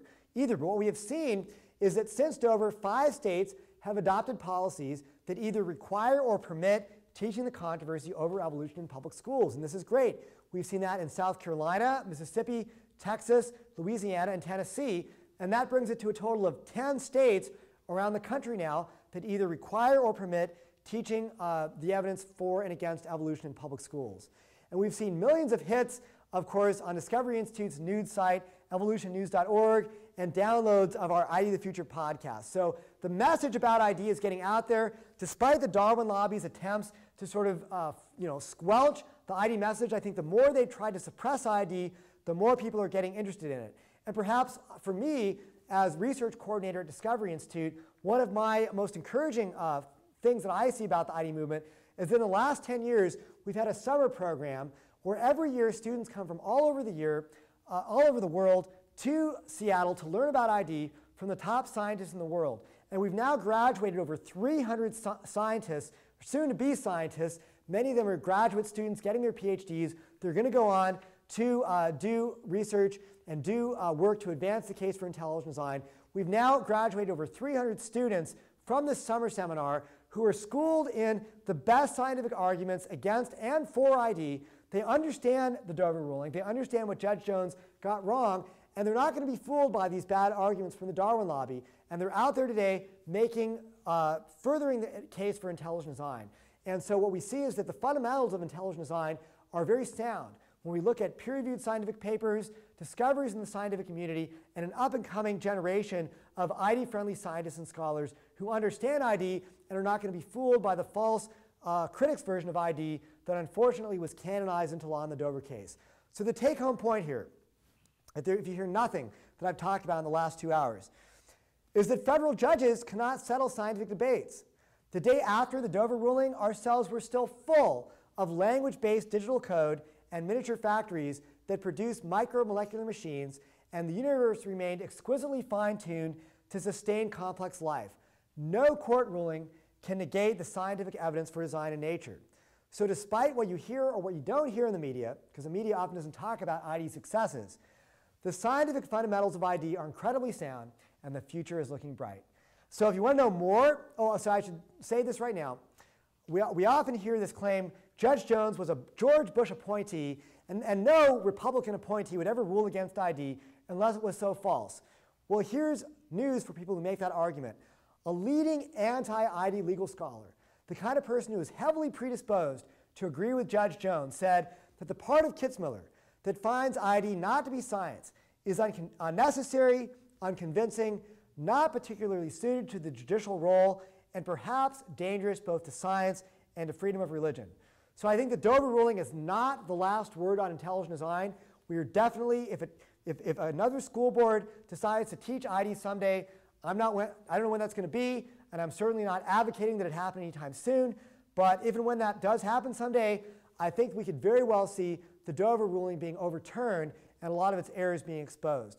So uh, the legality of teaching ID nationwide, only one court has addressed the teaching of ID, and it was from the lowest level of the federal courts, that ruling has many weaknesses.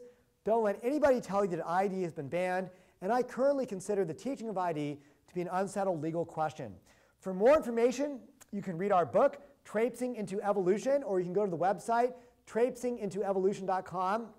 There you will also find a, a link to a law review article in Montana Law Review written by David DeWolf, John West, and myself that uh, explains many of these arguments in more detail. So thank you very much.